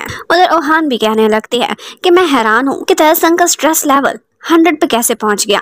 शायद ये मूड के साथ था। उसका अचानक किसी बात से मूड खराब हुआ होगा। और उसी टाइम पर उसने वो टेस्ट लिया है। और यहीं पर ही हमें पता चलता है कि उसी एक्ट्रेस सी वॉन की डिवोर्स की जैसे ही खबर उसने देखी थी तो हान को फ़िक्र होने लगती और उसने तुरंत ही तयसंग को कॉल की थी। और तयसंग भी वही न्यूज़ देखकर उस टाइम पर अपसेट बैठा हुआ था। और इसी बात से हमें एक बात कन्फर्म हो जाती है। और वो ये थी कि वो हान को भी कहीं ना कहीं हर टाइम तयसंग की फ़िक्र लगी रहती थी। उधर मिस वॉन, आज तयसंग के लिए जो खाना बनाती हैं, वो बिल्कुल भी अच्छा नहीं था। वो बहुत बूढ़ी होती जा रही थी और सीजनिंग में उन्होंने कुछ इस तरह की मिस्टेक की थी कि बेचारा तयसंग चुपचाप वो खाना खा जाता है, लेकिन उनको कुछ भी नहीं कहता। अब उसके बाद हान अगले ही दिन ऑफ़िस में देखती है कि जंग, जो कि इस टाइम पर तयसंग का असिस्टेंट था, उसकी दौड़ें लगी हुई थी। और जल्दी जल्दी एजेंसी में आकर उसके लिए कुछ सामान समेट रहा होता है और उसके बाद कहता है कि उसकी कंट्री साइड में शूटिंग है, उसे जो चीज़ें चाहिए मैं वो सब पूरी करूँगा। लेकिन वो बेचारा बहुत भोला भाला था और आज तयसंग को उसकी हरकतों को देखकर बहुत गुस्सा आता है, क्योंकि वो सेट पर सब में कोल्ड ड्रिंक्स बांट रहा था। लेकिन उसने प्रमोशन से वो कोल्ड ड्रिंक ली थी, जो कि buy one get one free में थी। लेकिन उसके ऊपर तयसंग की नहीं, बल्कि उसके एक राइवल हीरो की फ़ोटो लगी हुई थी। अब ये देख देख कर तहसन को गुस्सा आ रहा था कि मेरी पब्लिसिटी कर रहा है या फिर इसकी। और इसी बात का गुस्सा, वो सारा मिस्टर कंग पर निकालता है। और दूसरी तरफ़ हमें लॉयर डू को दिखाते हैं। वो आज अपने ऑफ़िस में बैठा हुआ था और उसकी असिस्टेंट नोटिस करती है कि आज अपने फ़ोन को देख देख कर बहुत स्माइल कर रहा है। एक्चुअली वो वही वीडियो देख रहा था जो कि ओहान की वायरल हुई थी। और वो देखते हुए उसके फेस पर एक सरप्राइजिंगली अजीब सी स्माइल थी। ऐसा लगता है कि जैसे वो ओहान को कहीं ना कहीं लाइक करने लगा है। अब एक तरफ़ तो मिस्टर कंग की इंसल्ट तयसंग के हाथों होती रहती थी। दूसरी तरफ़, जियांग बेचारी भी अपनी इंसल्ट एक और सुपरस्टार से करा रही थी। वो उसे बुलाते हैं और डांटते हैं कि तुमने गाड़ी का दरवाज़ा पोलाइटली बंद नहीं किया और उसे मैनर सिखाते हैं कि किस तरह से ना तो ज़्यादा आहिस्ता और ना ही ज़्यादा तेज़ी से दरवाज़ा बंद किया जाता है। इन बेचारे मैनेजर्स की हर टाइम पर वाट ही लगी रहती थी। कोई ना कोई सुपरस्टार इनको किसी न किसी बहाने से डांटता ही रहता था। उधर शूटिंग वाले सेट पर एक दिन तयसंग देखता है तो जंग ने एक नया ही कारनामा किया हुआ था और वो कांड ये था कि उसने तयसंग की गाड़ी पर ही उसकी चड्डी धो धो कर लटकाई हुई थी और कह रहा होता है कि हाँ कंट्री साइड है। आज मौसम बहुत अच्छा था, धूप निकली थी, सोचा आपके कपड़े ही धो दूँ। और ये देख कर तयसंग गुस्से से बेकाबू हो जाता है। किसी के सामने शो भी नहीं करा सकता था कि वो गुस्से में है। तो जाता है और जंग को गले लगा लेता है और उसके कान में कहता है कि क्या तुम्हारी कोई लास्ट विश है तो मुझे बता दो। और फिर बस उसके बाद सीधी कॉल जाती है मिस्टर कंग को, जो कि उस वक्त आउट ऑफ़ स्टेशन थे और अपनी एक मीटिंग में बिज़ी लेकिन वहाँ पर भी उसे टेंशन मिल ही जाती है। अब कंग क्या करता? उसकी एक ही फ्रेंड थी एजेंसी में सबसे ज़्यादा क्लोज और वो थी ओहान। वो उसी को कॉल करता है और कहता है कि प्लीज़ जाओ, इस जंग की अकल ठिकाने लगा और किसी तरह से तसंग का मूड अच्छा करो। अब ओहान अपने साथ अपने दो और कोलीग्स को लेती है और फिर वो लोग सुपरमार्केट चले जाते हैं। वहाँ पर वो तसंग के फेस वाली हर प्रोडक्ट को उठा लेते हैं। और इसके साथ साथ ओहान उसके लिए कुछ और भी शॉपिंग करती है। कुछ चॉकलेट्स और स्नैक्स जो कि तैसंग के फेवरेट थे। और उसके बाद हमें दिखाते हैं कि रात के टाइम पर वो लोग उसी जगह पर पहुँच जाते हैं जहाँ शूट चल रहा था। तैसंग देखता है तो कुछ वैम्स भी आई हुई थी और एक गाड़ी से ओहान निकलती है। और उसके बाद वो लोग वहाँ पर स्टॉल्स लगा देते हैं। हर तरफ़ तासंग की ही शक्ल दिखाई दे रही थी और उसकी प्रोडक्ट सब में वो लोग डिस्ट्रीब्यूट करते हैं, उसकी पब्लिसिटी करते हुए। और इसके साथ साथ एक गिफ्ट उसे भी रिसीव होता है और वो वो था जिसमें उसके सारे फेवरेट स्नैक्स थे। ये देखते हुए तासंग का मूड बहुत अच्छा हो जाता है, उसके फेस पे एक स्माइल आ जाती है। और फिर जब तासंग का शूट चलता है तो आज उसका शूट एक ऐसे लड़के के साथ था जो कि एक न्यू स्टार था। वो लड़का शूट के बीच बार बार गलती कर रहा था और रीटेक कराता था। लेकिन तयसंग का मूड इतना अच्छा हो गया था ओहान की वजह से कि वो ज़रा भी माइंड नहीं करता और ना ही डायरेक्टर को उस न्यू स्टार को डांटने देता है, बल्कि उसकी हेल्प कराता है और इस शूट को पूरा करा देता है। और फिर इसके बाद अपने अच्छे मूड होने की वजह से वो अपने फैंस के लिए एक वीडियो पैगाम भी रिकॉर्ड करता है। और फिर ओहान को तलाश करने निकल जाता है। उसे पता चलता है कि वो कॉफ़ी ट्रक में है। तो वो भी वहीं पर उसी के साथ जाकर खड़ा हो जाता है। वो लोग फ्री में कॉफ़ी बांट रहे थे और वहाँ पर कोई आकर अमेरिकानों का ऑर्डर करता है। ओहान पूछती है कि क्या तुम्हें कॉफ़ी बनानी भी आती है? तो वो कहने लगता है कि शायद तुम्हें याद नहीं, मैंने अपने पिछले एक ड्रामा में बारिस्ता का रोल किया था। तो हान कहने लगती कि हाँ मैंने भी तब तुम्हारी बनी हुई एक कॉफ़ी पी थी, जो कि बिल्कुल रेत के टेस्ट की थी। अब इतने में वहाँ पर एक बूढ़ा सा कपल आ जाता है और वो उनको भी वार्म टी बना कर देता है। लेकिन वो लोग जैसे ही जा रहे थे तो अंकल की तबीयत खराब हो जाती है और वो कोलैप्स कर जाते। हैं ये देखकर तयसंग बहुत डर गया था। लेकिन इतने में जंग वहाँ पहुँच जाता है। वो पहले भी एंबुलेंस का ड्राइवर रहा था, इसलिए उसे फ़र्स्ट एड आती थी। वो उनको रेस्क्यू करता है, उन्हें सीपीआर देता है, जिसके बाद उन अंकल की जान बच जाती है। उस वक्त तक जब तक वहाँ पर एंबुलेंस नहीं पहुँच जाती, वो एक दफ़ा सेफ़ हो गए थे। ये देख कर जंग से बहुत इम्प्रेस होता है। और फिर रास्ते में उससे पूछता भी है कि तुमने वो इमरजेंसी किट भी अपने साथ रखी हुई थी, किस लिए? तो वो कहने लगता है, जब आपके शूट का सुना तो मैं हर ज़रूरी सामान उठा कर आया, जिसकी कभी भी इमरजेंसी में ज़रूरत पड़ सकती थी। अब उसकी इस हरकत ने कहीं ना कहीं तहसंग का एक दफ़ा दिल जीत लिया था। अब नेक्स्ट मॉर्निंग मिस्टर कंग वापस आ जाता है और वो आते ही कॉल करता है और तहसंग से कहने लगता है कि मैं आप, आपके लिए एक नया मैनेजर तलाश कर दूँगा। जैसा आप चाहेंगे, बिल्कुल वैसा ही। लेकिन वो आगे से कहने लगता है, कोई बात नहीं, मैंने जंग को माफ़ कर दिया है, उसे एक और चांस देता हूँ। और तो और, आज वो उसे अपने स्नैक्स वाले डिब्बे में से एक चॉकलेट भी निकाल कर देता है, जिसे रिसीव करके जंग बहुत खुश हो गया था। उसे पहली दफ़ा तय तयसंग की तरफ़ से डांट की बजाय कोई गिफ्ट मिला था और वो भी बहुत स्वीट उधर रोहान आज अपने ऑफ़िस के बाहर एक कैफ़े पे बैठी हुई थी और यहीं पर ही मिस्टर डो उसे देख लेता है, जो उसे देखते ही कॉल मिलाता है और उसे हाय बोलता है। लेकिन उसकी कॉल उठाने से पहले ओहान डर गई थी और डर के मारे उसने अपने दिल पर हाथ रख लिया था। ये सीन देखते हुए मिस्टर डो बहुत इंजॉय करते और हैरान भी होते हैं क्या मैं इसके लिए कोई स्पेशल हूँ। लेकिन वो तो डर गई थी कि कहीं किसी स्टार का, कहीं कोई दोबारा से स्कैंडल तो नहीं आ गया, कोई प्रॉब्लम में तो नहीं फंसने वाली। ये सुनकर मिस्टर डो भी कहते हैं कि तुम्हारी लाइफ और तुम्हारी फ़ील्ड काफ़ी मुश्किल है। अब उसके बाद मिस्टर डो ऑफ़िस में आते हैं तो कुछ गर्ल्स गॉसिप कर रही थी, और वो यही थी कि तैसंग और ओहान क्या डेट करते हैं एक दूसरे को। ओहान तैसंग की पसंद नापसंद, उसका मूड कैसे अच्छा करना है, हर चीज़ को बहुत डिटेल से जानती है। ये सुनते ही मिस्टर डो का तो दिल ही टूट जाता है। और फिर यहीं पर ही हमें ये भी पता चलता है कि जब ओहान स्लाइड करती हुई स्टेज पर उनके कदमों में जाकर गिरी थी तो वहीं पर ही तैसंग ने ओहान को मौका दिया था कि वो अपना फेस उनको दिखाए बगैर वहाँ से निकल सके, क्योंकि तयसंग ने बाकी सबको डिस्ट्रैक्ट कर लिया था। ओहान अच्छे से जानती थी कि तयसंग इतना भी बुरा नहीं। इतने में मिस्टर डो उसके पास आता है और डायरेक्टली उससे पूछ लेता है कि क्या तुम तासंग को डेट कर रही हो? तो आगे से कहती है कि आपका दिमाग सही काम नहीं कर रहा। ये कैसे हो सकता है? और उसी टाइम पर यह सारा कुछ दूर खड़ा तायसंग भी सुन रहा था। मिस्टर डो को तसल्ली हो जाती है। वो कहता है कि मैं तुम्हें किसी अच्छे लॉयर से भी इंट्रोड्यूस करा सकता हूँ और उसका इशारा अपनी तरफ़ था। ये देखते हुए तसंग बहुत जेलस होता है। ओहान के साथ खड़ा हो जाता है। उसे ऐसे पकड़ता है कि जैसे वो उसका बहुत पुराना फ्रेंड हो और वाकई उसे डेट कर रहा हो। और फिर मिस्टर डो से इंट्रोडक्शन भी अपना कराता है और कहता है कि तुम फोर्टी सिक्स बैच से हो, मैं फोर्टी फोर्थ बैच से हूँ। लेकिन एक्चुअली वो लॉयर तो नहीं था। उसने थोड़े अरसे पहले एक ड्रामे में अटर्नी का रोल किया था और उसमें वो फोर्टी फोर्थ बैच से था। लेकिन मिस्टर डो की और ओहान की इतनी गुर्बतें तासंग को बहुत डिस्टर्ब कर रही थी और वो सारा गुस्सा अपने ट्रेडमिल पर ही निकालता है। जबकि उधर ओहान बहुत मज़े से बैठी हुई थी, लेकिन अचानक से उसे ख्याल आता है और वो ये था कि तैसंग ने उसके कान में आकर एक बात बोली थी। वो गुस्से में आ गया था, उसे और डू को देखकर उसने कहा था कि तुम मुझसे बैठा रही थी और अगले महीने से तुम्हारी सैलरी कटिंग स्टार्ट हो जाएगी। अगर फुल पे चेक चाहिए तो फिर मेरे हर शूट पर पहुँचना शूटिंग देखने के लिए। जबकि उसी टाइम पर ऑफ़िस के बाकी तीन कोलीग्स और उनके साथ साथ जंग भी मिल गया था। उन्हें टीम अप कर लिया था और ये वो लोग थे जिन्हें लगता था कि तैसंग और ओहान सीक्रेटली डेट कर रहे हैं, क्योंकि जंग ने भी फील किया था। कि तैसंग अक्सर ओहान का पूछता है। और ओहान ने उसे उसके फेवरेट स्नैक्स भी भेजे हैं। और तो और उनको ये भी लग रहा था कि ये लोग शूट पर सीक्रेटली डेट करने के लिए एक दूसरे को बुला रहे हैं। तैसंग आजकल शूटिंग पर बहुत ज़्यादा बिज़ी रहता था। आज उसकी आँख भी लग गई थी। लेकिन उसके पास ही जंग अपनी एक फ़ोन कॉल सुनता है, जिस पर उसे पता चल जाता है कि ओहान से बात कर रहा है और ओहान भी आज शूट पर आ रही है। ये सुनते ही उसके फेस पर स्माइल आ जाती है। अब वोहान भी शूट पर आई हुई थी और वहीं पर ही तयसंग भी रेडी होकर अपनी गाड़ी से निकलता है और आज वो एक्सट्रीमली हैंडसम लग रहा था अपनी शूट की लुक के लिए। और जब सारे लोग उसे देखते हैं तो बस देखते ही रह जाते हैं, लेकिन उसकी नज़रें सिर्फ़ और सिर्फ़ ओहान की तरफ़ थी। और वो ओहान के बिल्कुल सामने खड़ा होकर उसे एक मीन से स्माइल भी देता है कि मैंने तुम्हें यहाँ पर आने पर मजबूर कर दिया और उसके बाद अंदर चला जाता है। अब वो तयसंग के हर शूट पर वहाँ मौजूद थी, लेकिन ओहान अपने काम पर ज़्यादा तवज्जो देती थी।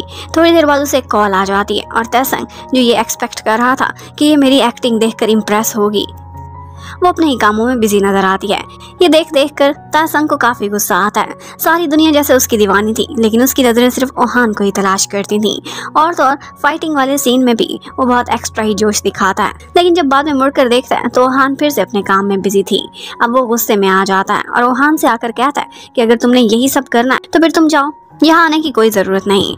और ये सुनते ही ओहान वहाँ से चली जाती है। कि इसने खुद ही मुझे भेज दिया है। और बोलती है कि अब अपनी बात से मुकर मत जाना। अब ओहान सीधी जाती है मिस्टर डू के ऑफ़िस में। उसने उनसे कुछ इंपॉर्टेंट बात डिस्कस करनी थी लीगल इशू को लेकर। लेकिन उनसे साथ में सॉरी भी कर दिया कि आप तो कभी ओवर टाइम नहीं करते थे।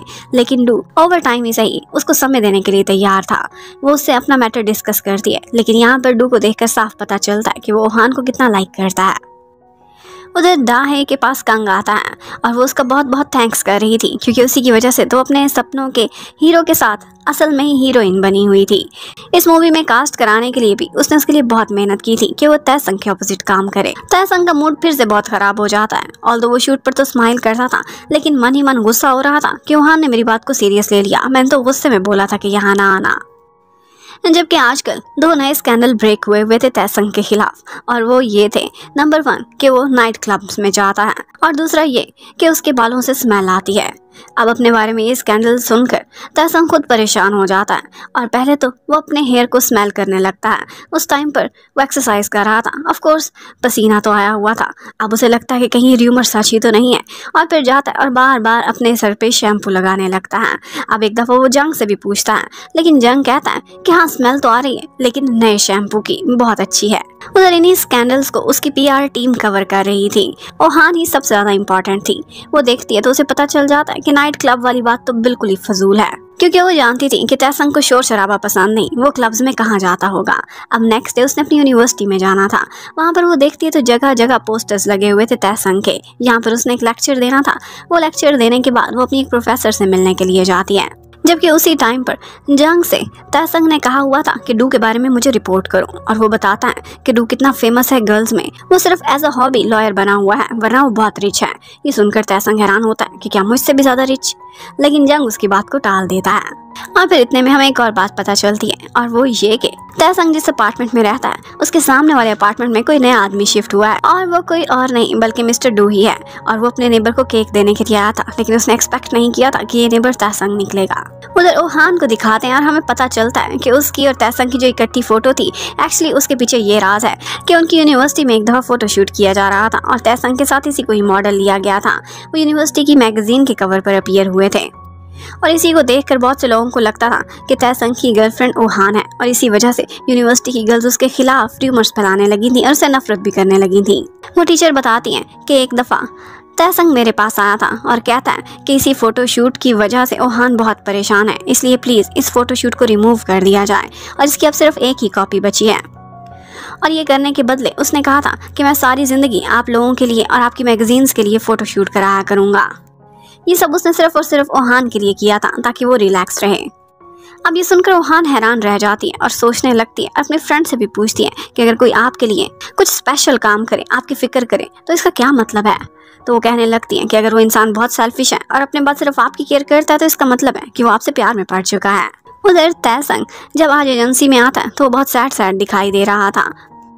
उसने इतनी दफ़ा अपने हेयर वॉश किए थे कि उसके हेयर में डैंड्रफ भी आने लगी थी। यहाँ पर रूहान उसके पास आती है, उसके हेयर को स्मेल करती है और कहती है कि बहुत अच्छी फ्रेगरेंस आ रही है, इसलिए इस टेंशन को सर से निकालो और अपने काम पर फोकस करो। रूहान की बस इतनी सी बात ही तैसंग का मूड ठीक कर देती है। इतने में यूएसए की एक मैगजीन की तरफ़ से तैसंग को कुछ क्वेश्चन आते हैं। लेकिन उसके पास समय नहीं था इनका आंसर देने के लिए। वो बेसिक क्वेश्चन से तो वो कहता है कि ओहान को कहो मेरी तरफ़ से फिल कर दे। वो इन सब के आंसर जानती होगी। लेकिन ओहान थोड़ी देर बाद उसके पास आ जाती है और जो तीन क्वेश्चन उसे पता नहीं चल रहे थे कि इनके आंसर्स क्या होंगे, उनसे पूछने लगती है। लेकिन तैसंग को थकावट की वजह से उस वक्त बहुत ज़्यादा नींद आ रही थी। वो बस नींद ही नींद में कुछ बोले जा रहा था। वो उससे पूछती है कि तुम्हारी लाइफ में सबसे इम्पोर्टेंट पल कौन से थे?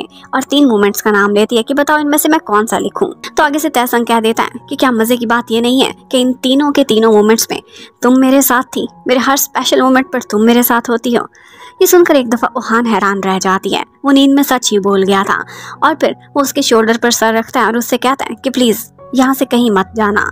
अब पता नहीं वो उसके शोल्डर की बात कर रहा था या फिर अपनी लाइफ की।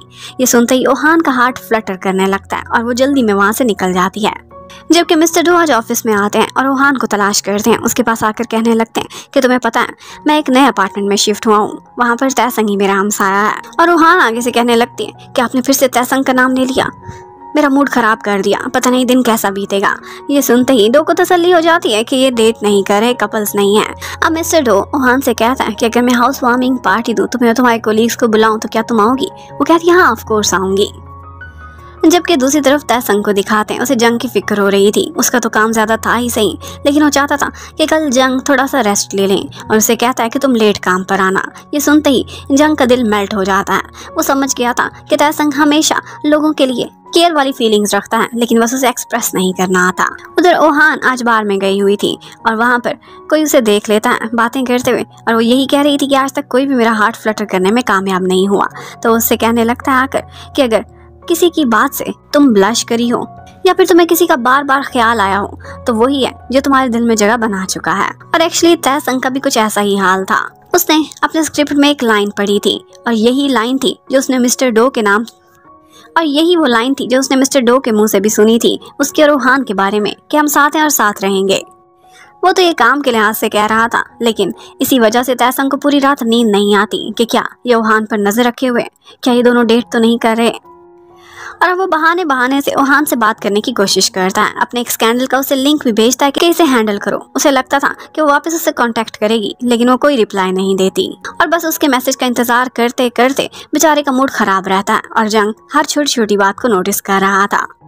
अब थोड़ी देर बाद फाइनली वो उसे कॉल कर तो लेती हैं, लेकिन सिर्फ़ फैक्ट्स पर और बिज़नेस से रिलेटेड ही बात करती हैं और उसके बाद कॉल काट देती हैं। तयसंग बहुत हैरान होता है कि किसी की कैसे हिम्मत हुई मेरे मुँह पर कॉल काटने की। अब नेक्स्ट हमें शूट का सीन दिखाते हैं। वहाँ पर एक एक्टर था, जो कि आ नहीं रहा था, और उसी को लेकर डायरेक्टर बहुत परेशान था। यहाँ पर योंग मौके को देखकर चौका लगा देती है और कहती है कि इस रोल के लिए हमारा सीडियो बिल्कुल परफेक्ट रहेगा, और अब सीडियो को भी अपना फ़र्स्ट रोल मिल चुका था, और वो भी तैसंग वाले ड्रामे में।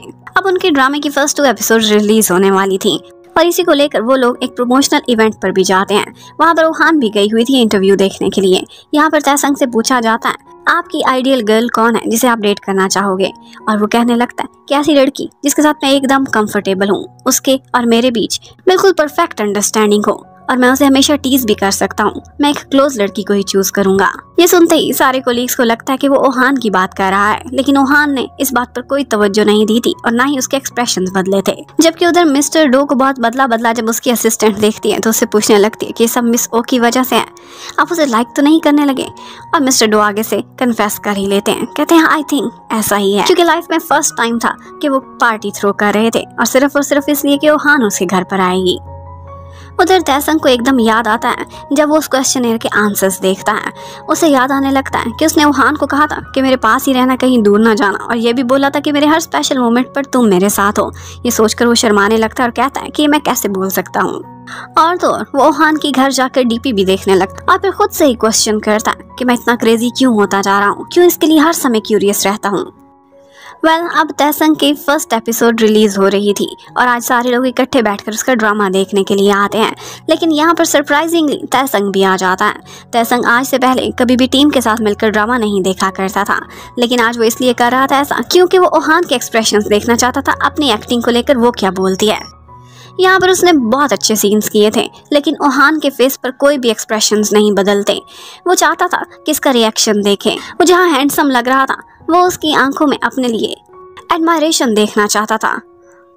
लेकिन ऐसा कुछ भी वो नहीं देख पाता, इसीलिए सैड हो जाता है। बाद में जाकर पूछता है कि तुम्हें मेरी एक्टिंग कैसे लगी? तो वो आगे से कहने लगते कि हर कोई तुम्हारी तारीफ़ कर रहा है, लेकिन उसका मन था कि वो ओहान के मुँह से सुने। और फिर यहीं पर ही हमें पास्ट का सीन दिखाते हैं। एक्चुअली ओहान ने जब नया नया काम स्टार्ट किया था, तब उसे लगता था कि जैसे तयसंग उसके लिए फीलिंग्स रखता है। वो भी उसके लिए फीलिंग्स रखने लगी थी। उसे लगता था कि मैं उसकी लाइफ में स्पेशल हूँ, तभी तो वो मुझे इतना टीज करता है। लेकिन इतने में उसका एक एक्ट्रेस के साथ स्कैंडल ब्रेक हुआ था। वो उसे फ़ोन करके कन्फर्म करती है और पूछती है कि क्या तुम उसे डेट कर रहे हो? तो वो आगे से कहता है कि हाँ मैं हैजिन को डेट कर रहा हूँ। ये सुनते ही उसे लगने लगता है कि इसका मतलब है मैं इसकी लाइफ में ज़रा भी इंपॉर्टेंट नहीं। और जो ये बोलता है कि मैं उसी लड़की को डेट करूँगा, जिसे मैं टीज कर सकता हूँ जिससे मैं क्लोज हूँ, ये सब बिल्कुल गलत है। और वो बेचारी बहुत रोती है और हार्ट ब्रोकन हो जाती है। अब बस तब के बाद से उसने फैसला किया था कि वो कभी भी उसके लिए फॉल नहीं करेगी। वेल well, अब नेक्स्ट डे तयसंग अपना ऑफ़ लेता है क्योंकि उसने एक ज़रूरी काम से जाना था। और ऑफ़िस में फिर से गॉसिप स्टार्ट हो जाती है क्योंकि इत्तेफाक से आज ओहान ने भी अपना डे ऑफ़ लिया था। वो सोचते हैं कि कहीं ये सीक्रेटली डेट तो नहीं करने गए। अब तयसंग जाता है कब्र पर और वो थी उसकी एक फ्रेंड की और वो उससे बातें करने लगता है।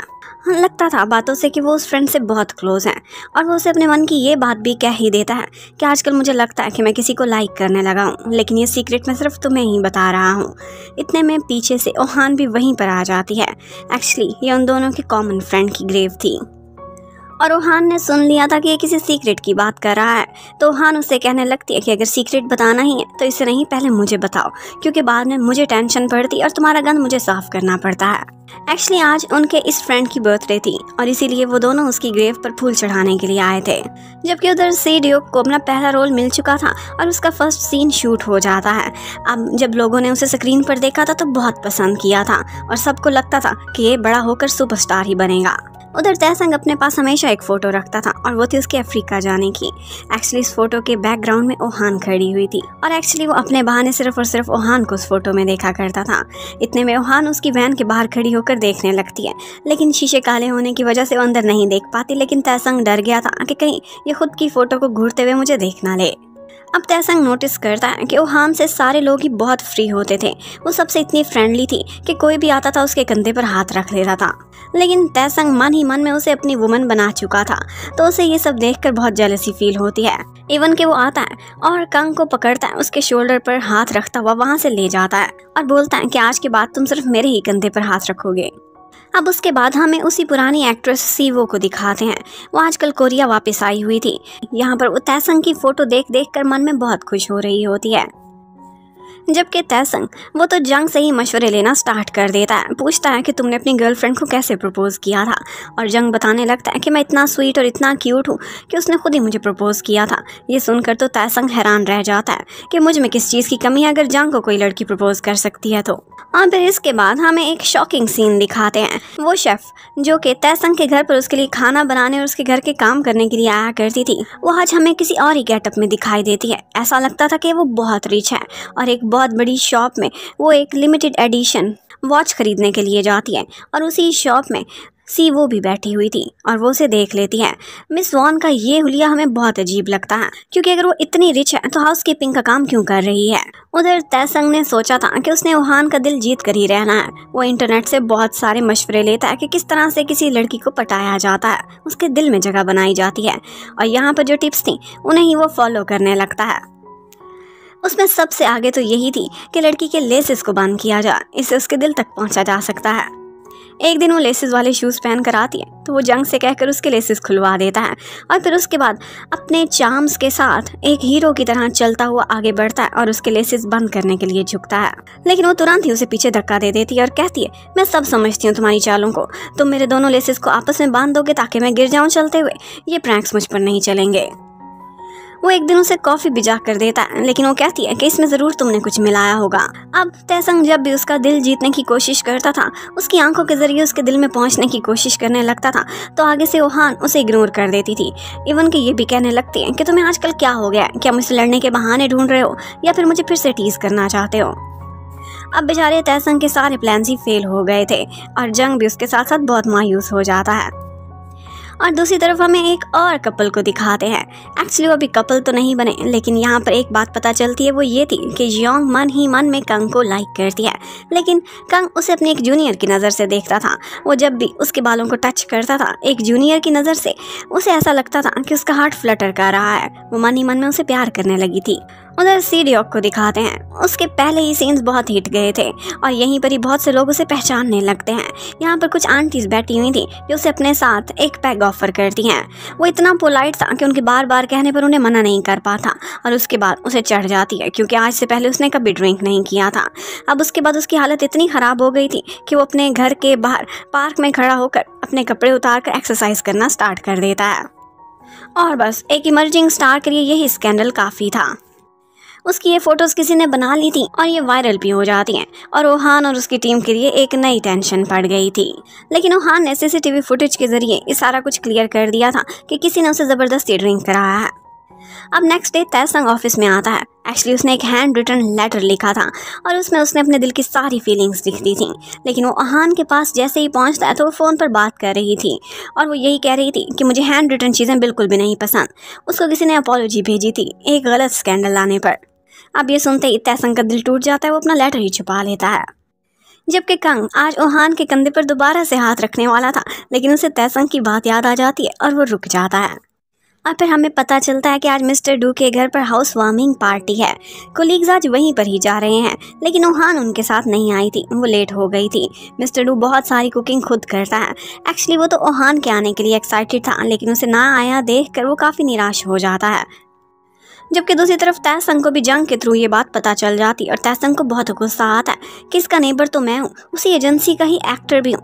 फिर इसने मुझे क्यों नहीं बुलाया? लेकिन उसने सोच लिया था कि ओहान वहाँ जाएगी तो फिर मैं भी ज़रूर ही जाऊँगा। अब वो कभी कान लगाकर दीवार के पार की आवाज़ें सुनने की कोशिश करता है कि वहाँ पर क्या हो रहा है और फिर इन दी एंड उसे एक आइडिया आ ही जाता है।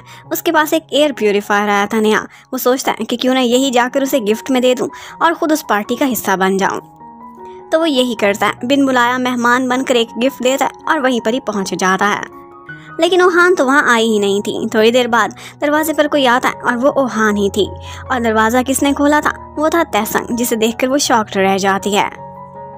अब वहाँ पर वो लोग गेम खेलने लगते हैं और यहाँ पर मिस्टर डो और तैसंग इन दोनों के बीच काफ़ी गर्मा गर्मी भी हो जाती है। जब गेम के बीच ही वो लोग एक दूसरे को बेस्ट बैचलर कैंडिडेट साबित करने के लिए अपनी क्वालिटीज़ गिनवाने लगते हैं। ये देखकर सारे लोग बोरिंग हो गए थे। अब in the end mister Do Ohan के पास आते हैं जब वो अकेली खड़ी हुई थी और उसे बताते हैं कि मुझे पार्टीज़ बिल्कुल नहीं पसंद। मैंने फ़र्स्ट टाइम थ्रो की है। किसी ऐसे शख्स को घर पर बुलाने के लिए, जिसे मैं बहुत लाइक करता हूँ। अब ओहान को ये समझने में देरी नहीं होती कि टीम में से कोई और नहीं, बल्कि ये मैं ही हूँ, जिसे मिस्टर डू लाइक करते हैं।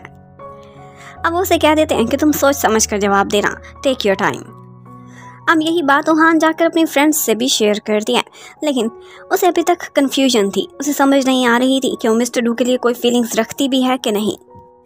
दूसरी तरफ़ तहसंग आज कंग के साथ मिलकर खाना खा रहा था और वो उसे सच सच बता देता है कि मुझे लगता है मैं किसी के लिए फॉल कर चुका हूँ। और कंग तो तुरंत ही पहचान गया था कि ओहान के अलावा और कौन हो सकती है। वो उन्हें बहुत सालों से जानता था और इकट्ठे देख देख कर ऑब्ज़र्व भी कर रहा था। लेकिन कंग उसे बताता है कि तुम थोड़ा सा पीछे रह गए हो, पता है? डू ने तो ओहान को प्रपोज भी कर दिया है। अब ये सुनते ही तहसन को बहुत शौक लगता है। वो परेशान हो जाता है, उसे समझ नहीं आ रही थी कि वो क्या करे। वो पीछे नहीं रहना चाहता था, किसी कीमत पर। वो अपनी वुमन को हार नहीं सकता था। अब वहान भी उसके घर पर उसे एक स्क्रिप्ट देने के लिए आती है और वो तुरंत ही उसे कह देता है कि, पता है वहान, मैं तुम्हें बहुत अरसे से लाइक करता हूँ। और वहान ये सुनते हुए चीखे मारती हुई वहाँ से भाग जाती है। अब तहसन को समझ नहीं आ रही थी कि ये कैसा रिस्पॉन्स था। इतने में दोबारा से कोई दरवाजे पर आता है। वो दरवाज़ा खोलता है तो वो कोई और नहीं, बल्कि सी वो थी। और फिर इसके साथ ही हमें एक फ्लैशबैक दिखाते हैं कि एक्चुअली सीवू तैसंग की मम्मी है और वो बहुत बड़ी एक्ट्रेस थी। वो अपने कैरियर को ज़्यादा इंपॉर्टेंस देती थी अपने बेटे से बढ़कर और इसी वजह से वो बहुत लोनली फील करता था। वो अक्सर थिएटर में जाकर अपनी मम्मी की मूवीज़ भी देखा करता था और बस देखते देखते रोता रहता था। वहीं पर ही ओहान से उसकी पहली मुलाकात हुई थी, जो किसी तरह की इमोशनल मूवी देखकर रो रही थी। वो उसके पास जाता है कि क्या ये तुम्हारे दिल को बहुत टच करी? लेकिन वो कहती है, नहीं, मेरे ग्रेड्स बहुत बुरे आए हैं, मैं तो इस वजह से रो रही हूँ। अब यही वो समय था तैसंग को लगा था कि उसे लव एट फ़र्स्ट साइट हो चुका है। और फिर उसके बाद उसे सारी पुरानी यादें आने लगती हैं। जब जब उसे अपनी मम्मी की ज़रूरत थी, उसे अपनी मम्मी कभी नहीं मिलती थी। वो हमेशा अपने कैरियर पर ही फोकस रखती थी और उसे टाइम नहीं दे पाती थी। इवन कि जब उसके डैड की डेथ हुई थी, उस समय वो हाई स्कूल में था। उसने मॉम को कॉल की थी। लेकिन वो अपने एक अवार्ड शो में बिज़ी होने की वजह से इस इंपॉर्टेंट मोमेंट पर भी अपने बेटे के साथ नहीं थी। और बस तभी से ही उसने अपनी मम्मी से अपने रास्ते अलग कर लिए थे। उसे सेलिब्रिटीज़ कभी भी पसंद नहीं थी, लेकिन जब उसकी मम्मी ने उसके साथ ये बर्ताव किया था, उसका इतना दिल टूटा था अपने डैड की डेथ के बाद कि उसने फैसला किया था कि वो अपनी मम्मी से भी बड़ा सुपरस्टार बन के दिखाएगा। उधर ओहान को दिखाते हैं। वो भी पुरानी यादों में खोई हुई थी। एक्चुअली उसकी पहली मुलाकात यूनिवर्सिटी में ही तयसंग से हुई थी। वो दोनों एक ही बैच से थे। यहाँ पर हमेशा से वो तैसंग को बहुत लाइक करती थी। लेकिन कभी भी उसे बता नहीं पाई थी क्योंकि वो गर्ल्स में सबसे ज़्यादा पॉपुलर था। और वैसे भी उन दोनों के फ़ोटोशूट की वजह से लोग ओहान को बुली करते थे और उसे नफरत करने लगी थी गर्ल्स और फिर उसके बाद वो उसकी की एजेंसी में काम भी करने लगी थी। लेकिन जब उसने सुना था कि हाजिन उसकी गर्लफ्रेंड है तो उसी टाइम उसका दिल टूट गया था और उसने अपने दिल से हमेशा हमेशा के लिए तैसंग को निकाल दिया था। लेकिन आज किस्मत उस पर इतनी मेहरबान थी कि तैसंग ने खुद उसे प्रपोज किया है। अब नेक्स्ट डे ओहान जब ऑफ़िस में जाती है तो वहाँ पर उसकी मुलाकात मिस्टर डू से होती है। मिस्टर डू से कहता है कि मैं तुम्हारे जवाब का इंतज़ार करूँगा, मुझे जल्दी कोई नहीं है, लेकिन इतना बता दो तुम्हारा जो भी आंसर होगा, इससे हमारी फ्रेंडशिप पर कोई फ़र्क नहीं पड़ने वाला। ओहान तो बेचारी बिल्कुल कंफ्यूज होकर रह गई थी। दो दो हैंडसम बॉयज़ ने उसे एट अ टाइम प्रपोज कर दिया था। वो कभी हंसने लगती थी तो कभी चीखें मारने लगती थी और उसका ये बिहेवियर उसकी टीम भी देख लेती है। और वो सब हैरान होते हैं कि इसकी लाइफ में कुछ तो उल्टा सीधा ज़रूर हुआ है। जबकि तैसन वो बेचारा मुँह लटकाए बैठा था। उसे लगता था कि ओहान उसे रिजेक्ट करके ही चली गई है। इतनी चीखें मारी कि जैसे मैं कोई हॉरर मूवी का करेक्टर हूँ। आज हान योंग के साथ बैठी हुई थी और योंग भी अपने मन की बात कर देती है। वो पहले एक्चुअली तैसंग की बॉडी गार्ड हुआ करती थी और यहीं पर ही उसने पहली दफ़ा डाहेक को देखा था। वो उसकी फ़ैन थी और अक्सर उसकी फैंस मीटिंग्स में आया करती थी। यहीं पर ही कांग ने डाहेक को नोटिस किया था और एक ऑर्डिनरी सी दिखने वाली लड़की को उसने एक सुपरस्टार बना दिया था और तैसंग के साथ ड्रामा भी दिलवाया था। वो कहने लगती है कि कंग, हमारी एजेंसी का सबसे कैपेबल मैनेजर है और मैं तो कब से उसे लाइक करती हूँ। लेकिन मन की बात उसे कह नहीं पाती कि कहीं वो मुझे इनकार ना कर दे। और फिर उसके बाद एक और सीन हमें दिखाते हैं। शूटिंग पर यूना का एक नए एक्टर जून यू के साथ एक किसिंग सीन आना था, लेकिन उनकी हमेशा से लड़ाई रहती थी। वो दोनों ही इनकार कर देते हैं कि ड्रामा ही ख़त्म कर दो या फिर हमारे करेक्टर को ही मार दो, लेकिन ये किसिंग सीन हम नहीं करेंगे। बड़ी मुश्किल से उनके मैनेजर्स उनको कन्विंस करते हैं और इन दी एंड जब वो दोनों सीन में किस करते हैं तो उसके बाद तो सब कुछ बदल के ही रह जाता है। वो जो एक दूसरे से नफरत करते थे, उनको ऐसे लगता है कि जैसे इस किस के बाद सारा कुछ बदल गया है, उनके हार्ट्स फ्लटर करने लगते हैं और बड़ी मुश्किल से दो तीन दफ़ा कट कहने पर ही वो दोनों जुदा होते हैं। और फिर उसके बाद शूटिंग पर तहसंग का भी दाहे के साथ एक रोमांटिक सीन शूट होना था। लेकिन तहसंग के लिए ये बहुत इंपॉर्टेंट था, क्योंकि आज पहली दफ़ा थी कि उसने वहान को प्रपोज किया था और उसके बाद उसका एक रोमांटिक सीन आया था। वो सोचता है कि अगर वहान ने ये देख लिया तो बेचारी कहीं हर्ट ही ना हो जाए, कहीं मुझे इनकार ना कर दे। लेकिन वहान ने वो सीन नहीं देखा था। उसके बाद जब वो उसे नज़र आती है तो वो उसे एक्सप्लेनेशन देने लगता है और कहता है कि ये सब मेरा प्रोफेशन है। अब वहान जब वहाँ से जाने लगती है बिना कोई जवाब दिए तो तहसंग उसके पीछे पीछे जाता है। लेकिन आज उसे वहाँ पर हाजिन दिख जाती है। हाजिन वही लड़की थी जो कि उसकी एक्स गर्लफ्रेंड थी। उसे बात करने लगती है और उसे देखकर हान बहुत बुरा सा मुँह बनाकर वहाँ से निकल जाती है।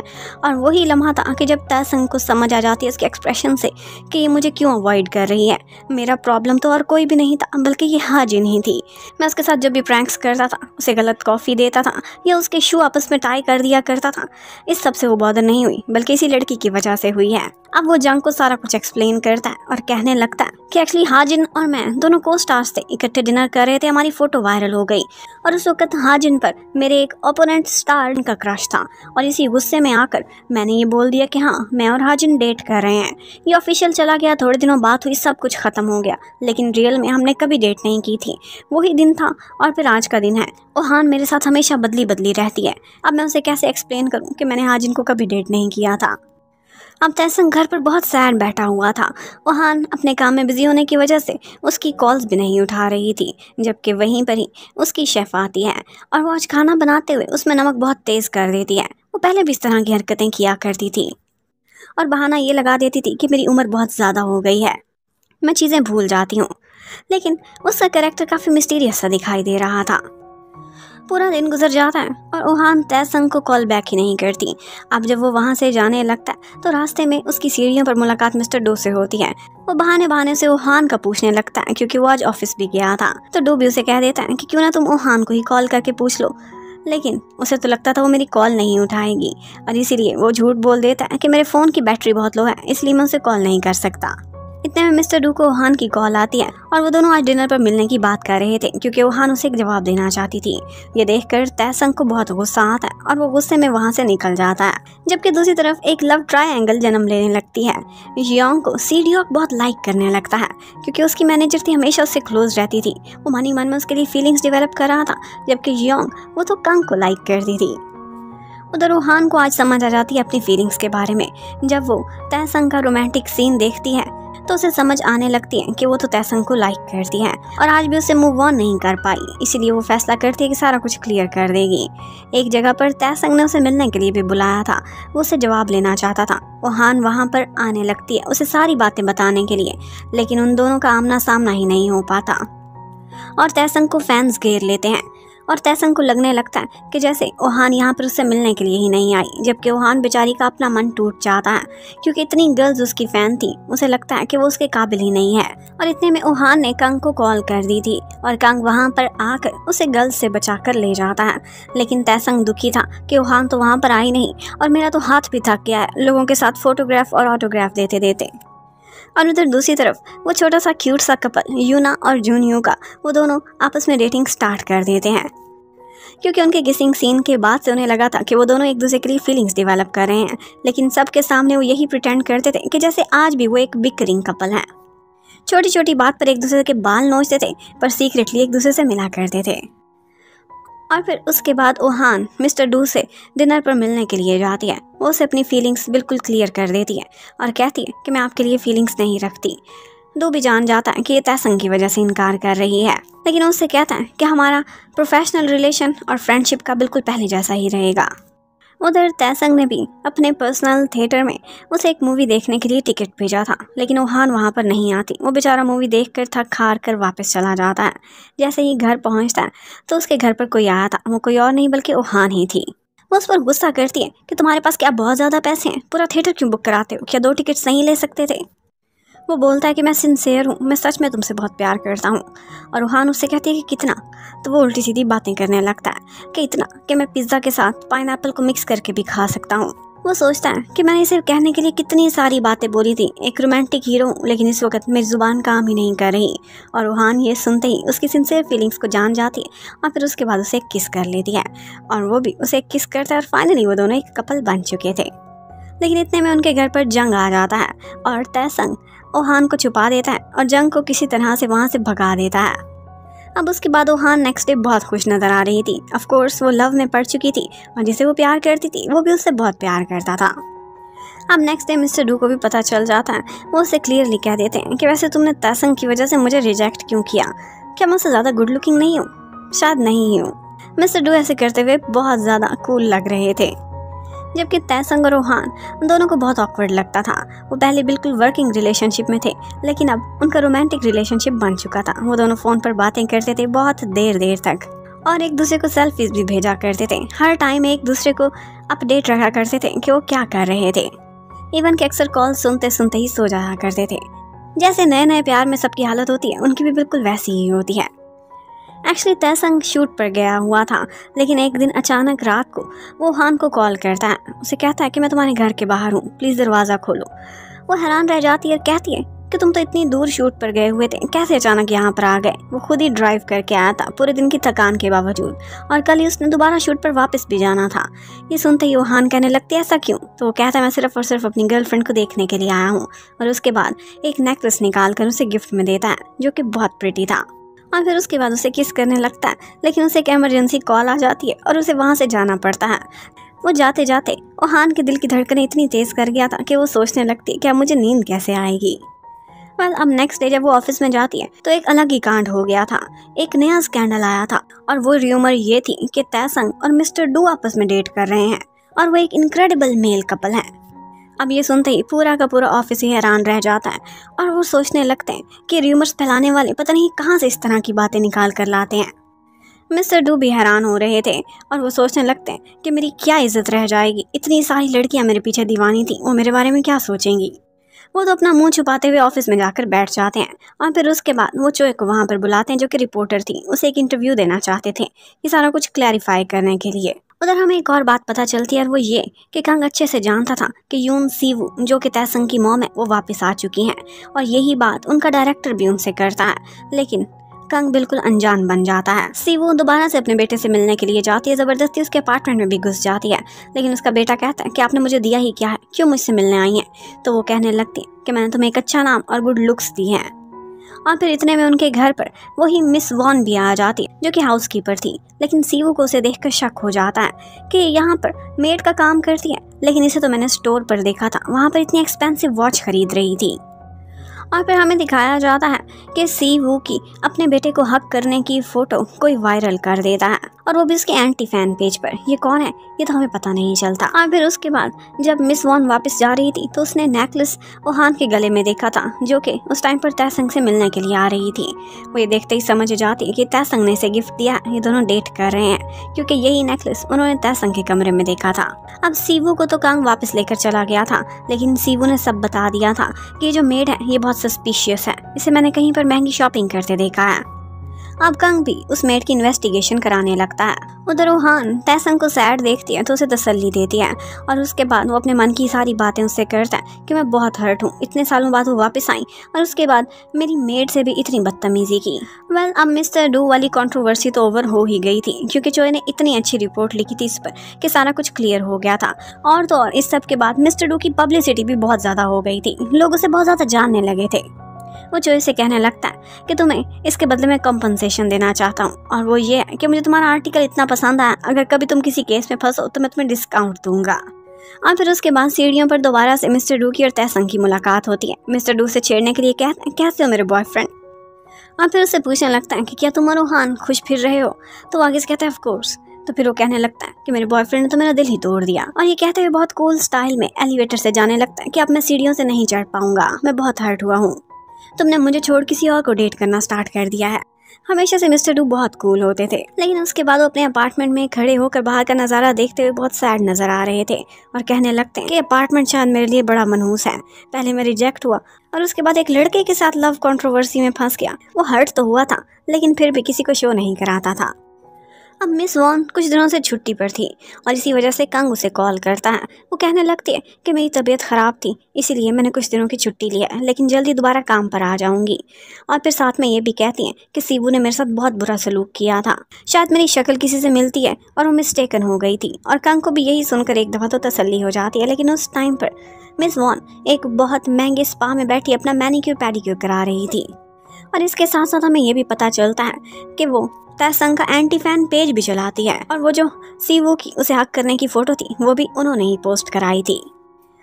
अब वो उसे किस चीज़ का बदला ले रही है, ये तो हमें आगे जाकर ही पता चलेगा। और फिर उसके बाद एक दिन ओहान के पास कंग आकर बैठता है। और उसे पता चल जाता है कि दोनों डेट कर रहे हैं। ये सुनते ही योहान बहुत शर्मा जाती है। कंग उन्हें बहुत सालों से जानता था और वो समझ गया था कि आजकल ये दोनों बहुत खुश नज़र आ रहे हैं। इसका मतलब है कि इन दोनों के दिल आपस से मिल चुके हैं। उधर तैसंग अपने शूट पर था और वो वहाँ से कुछ सेल्फीज भेजता है। ओहान को और बताता है कि वो उसकी फेवरेट फ़ूड खा रहा है और ओहान भी यही फैसला करती है। वो भी तैसंग का फेवरेट खाना आज मंगवा कर खाने लगती है। और बस इसी तरह से उन दोनों की क्यूट सी लव स्टोरी में प्रोग्रेशन चलता रहता है। और बस इसी तरह से उन दोनों की स्वीट सी लव स्टोरी आगे बढ़ती रहती है। लेकिन ओहान को तयसंग की मेट पर शक था और इसी बारे में उसने कंग से भी बात की थी। तो वो दोनों उसके अपार्टमेंट पर जाते हैं उसका पता करने के लिए। लेकिन वहाँ जाकर पता चलता है कि कोई और ही रह रहा है उस फ्लैट में। और जब उनसे पूछा जाता है तो पता चलता है कि मिस वॉन यहाँ से थोड़े दिनों पहले ही मूव कर गई हैं। ये बात मिस वॉन को भी पता चल जाती है। एक्चुअली वो सिर्फ़ वो अपार्टमेंट नहीं बल्कि पूरी की पूरी बिल्डिंग ही ऑन करती थी। और उसने उस अपार्टमेंट वाले को कहा था कि अगर कोई मेरा पूछना है तो यही कहना कि मैं यहाँ से मूव कर चुकी हूँ। और इसके बदले वो उनका रेंट भी माफ़ कर देती हैं। वेल well, अब कंग ने रिसर्च तो करा ली थी और इन्वेस्टिगेशन के नतीजे में उसे पता चलता है कि मिस वॉन एक फिल्दी रिच है। यहाँ पर बहुत सारे प्लाजाज और बिल्डिंग्स उसके नाम पर हैं। अगर वो इतनी रिच है तो फिर किस वजह से और किस मकसद के अंडर वो तयसंग की मेड बनी हुई है? लेकिन उसी टाइम पर ओहान के ऑफ़िस में कुछ गिफ्ट्स आते हैं और वो बहुत सारे लोगों को मिस वॉन नहीं भेजे थे। वो सब चीज़ें ब्रांडेड थी। ये सारे लोग ये देखकर हैरान रह जाते हैं। और जो गिफ्ट ओहान के नाम पर आया था, उसमें एक लेटर भी था और लिखा हुआ था। तुम्हें क्या लगता है कि तुम बहुत स्पेशल हो? बिल्कुल भी नहीं। तुम बिल्कुल ऑर्डिनरी हो उस नेकलेस की तरह, जो तुम्हें तैसंग ने दिया है। और उसी टाइम पर तयसंग के पास मिस वॉन पहुँच चुकी थी और वो जाते हुए उसे कहने लगती कि आज मैं आखिरी दिन आई हूँ, इसलिए तुम्हें गुड बाय बोलने के लिए आई हूँ। मिस वॉन जानती थी कि ये लोग मुझ तक पहुँच चुके होंगे, इसलिए उसने भी इस ड्रामे को एंड करने का फैसला किया था। वो जाते जाते तयसंग को गुड बाय करते हुए हक करती है और कहती है कि अब जब भी तुम्हें कहीं पर भी सॉल्ट नज़र आएगा तो मेरी याद आएगी, क्योंकि मैं जानबूझकर तुम्हारे सूप में सॉल्ट तेज कर दिया करती थी। अब जब वो जाने लगती हैं तो कंग उन्हें पकड़ लेता है, लेकिन वो कहती हैं कि जो मर्ज़ी जाकर कर लो, किसी की मेड होना इलीगल नहीं। और हाँ मैंने कुछ भी गलत अपने रेजमी में नहीं लिखा था। तुम लोग मुझे कोर्ट में नहीं पकड़ सकोगे। और साथ साथ ये भी बताती हैं कि मेरे अपार्टमेंट का नंबर भी बिल्कुल ठीक था। वो अपार्टमेंट ही नहीं, पूरी बिल्डिंग ही मेरी है। उधर तयसंग भी इतने बड़े धोखे के बाद अब शौक में बैठा हुआ था। वो बहुत सेंसिटिव था, लेकिन लोगों को दिखाता नहीं था। और फिर हमें पता चलता है कि मिस वॉन एक साइको टाइप की वुमन है। वो बहुत सारी सेलिब्रिटीज़ जो भी उनको पसंद थे, उनको स्पेशल गिफ्ट्स भेजा करती थी। लेकिन तैसंग ने उनका गिफ्ट रिजेक्ट करने की हिम्मत की थी, जो कि एक लिमिटेड एडिशन वॉच थी। इसी वजह से वो उससे बदला लेना चाहती थी। इस तरह के लोगों को कुछ ना कुछ एडवेंचर करने में फन फील होता है, और इसीलिए वो उसके घर पर मेड बनी थी, और उसके दिल और दिमाग हर चीज़ पर एक प्रिंट छोड़कर उसकी लाइफ से जा चुकी थी। वो ये नहीं चाहती थी कि कभी भी उसे भुला पाए। क्योंकि वो पहला इंसान था जिसने उन्हें इग्नोर करने की हिम्मत की थी। अब कंग जाकर यही बात मिस्टर डू से भी डिस्कस करता है कि हम उसको सू करना चाहते हैं, लेकिन वो कह देते हैं कि आप लोग मिस वॉन को कुछ भी नहीं कर सकते, क्योंकि जो कुछ भी उसने किया, वो बिल्कुल लीगल था, कुछ भी इलीगल नहीं था, उसे कोर्ट में घसीटने का कोई फ़ायदा नहीं होने वाला वही केस जीतेगी। उधर सीडियोक आज योंग के साथ खड़ा हुआ था। उसने नया ड्रेस ट्राई किया था।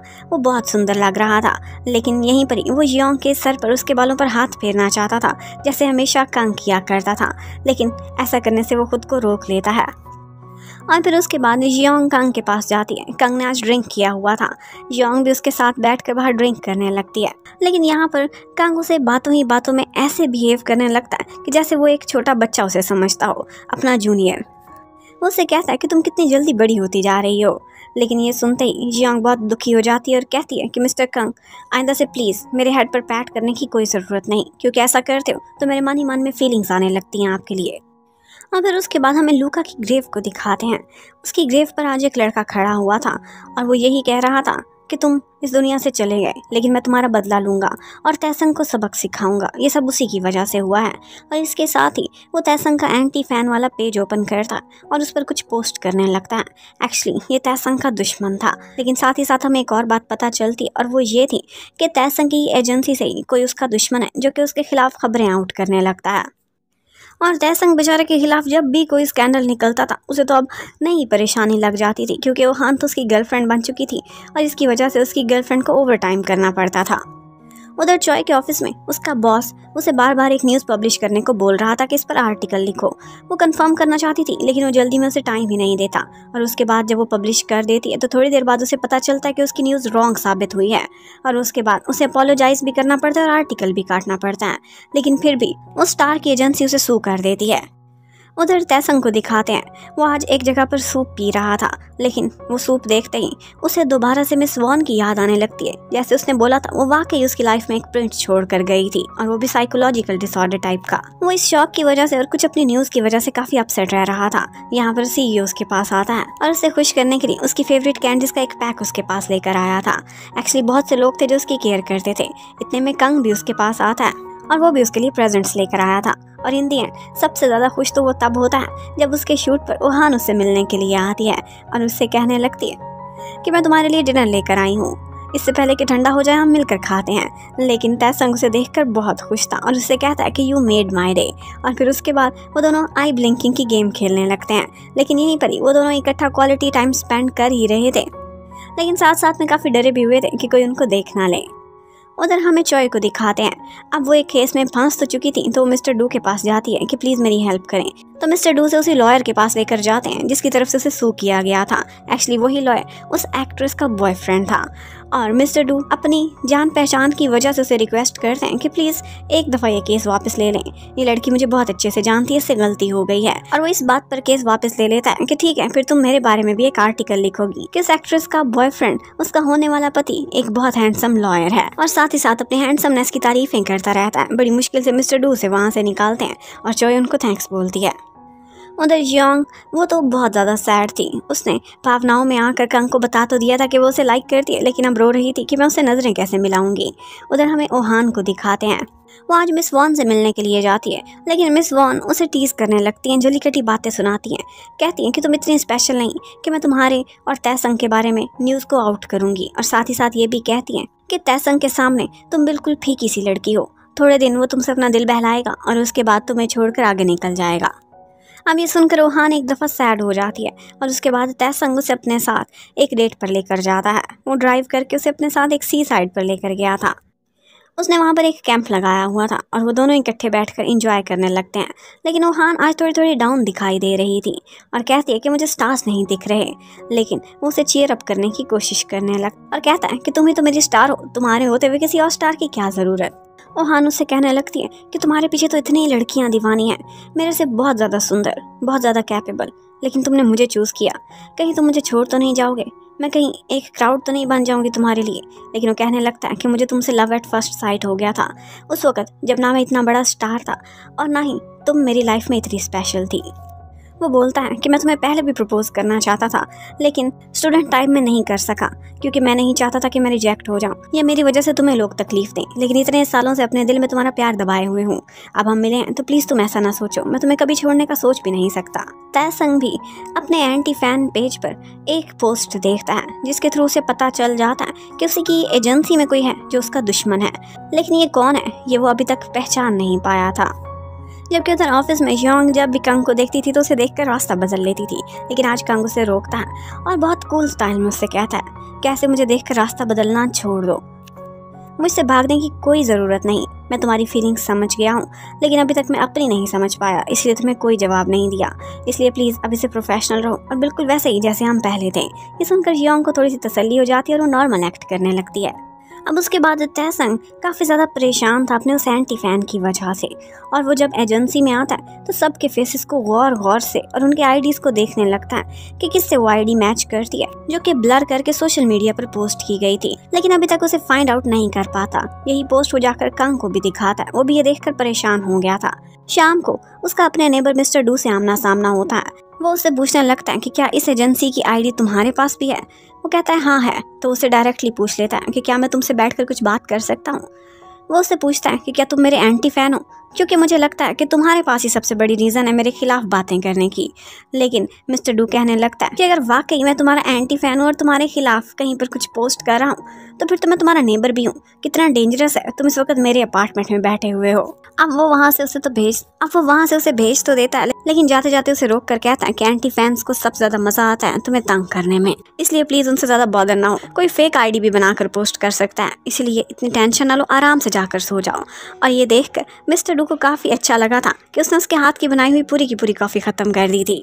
उधर ऑफ़िस में कंग और ओहान दोनों ही बहुत परेशान बैठे हुए थे, क्योंकि उनसे तयसंग की परेशानी नहीं देखी जा रही थी। वो बहुत ज़्यादा स्ट्रेस में था, क्योंकि वही ब्लैक मेलिंग वाला स्माइल बॉय अब उसे पर्सनल नंबर पर भी मैसेज करता था और उसे ब्लैकमेल करने की कोशिश करता था, धमकी भी देता था।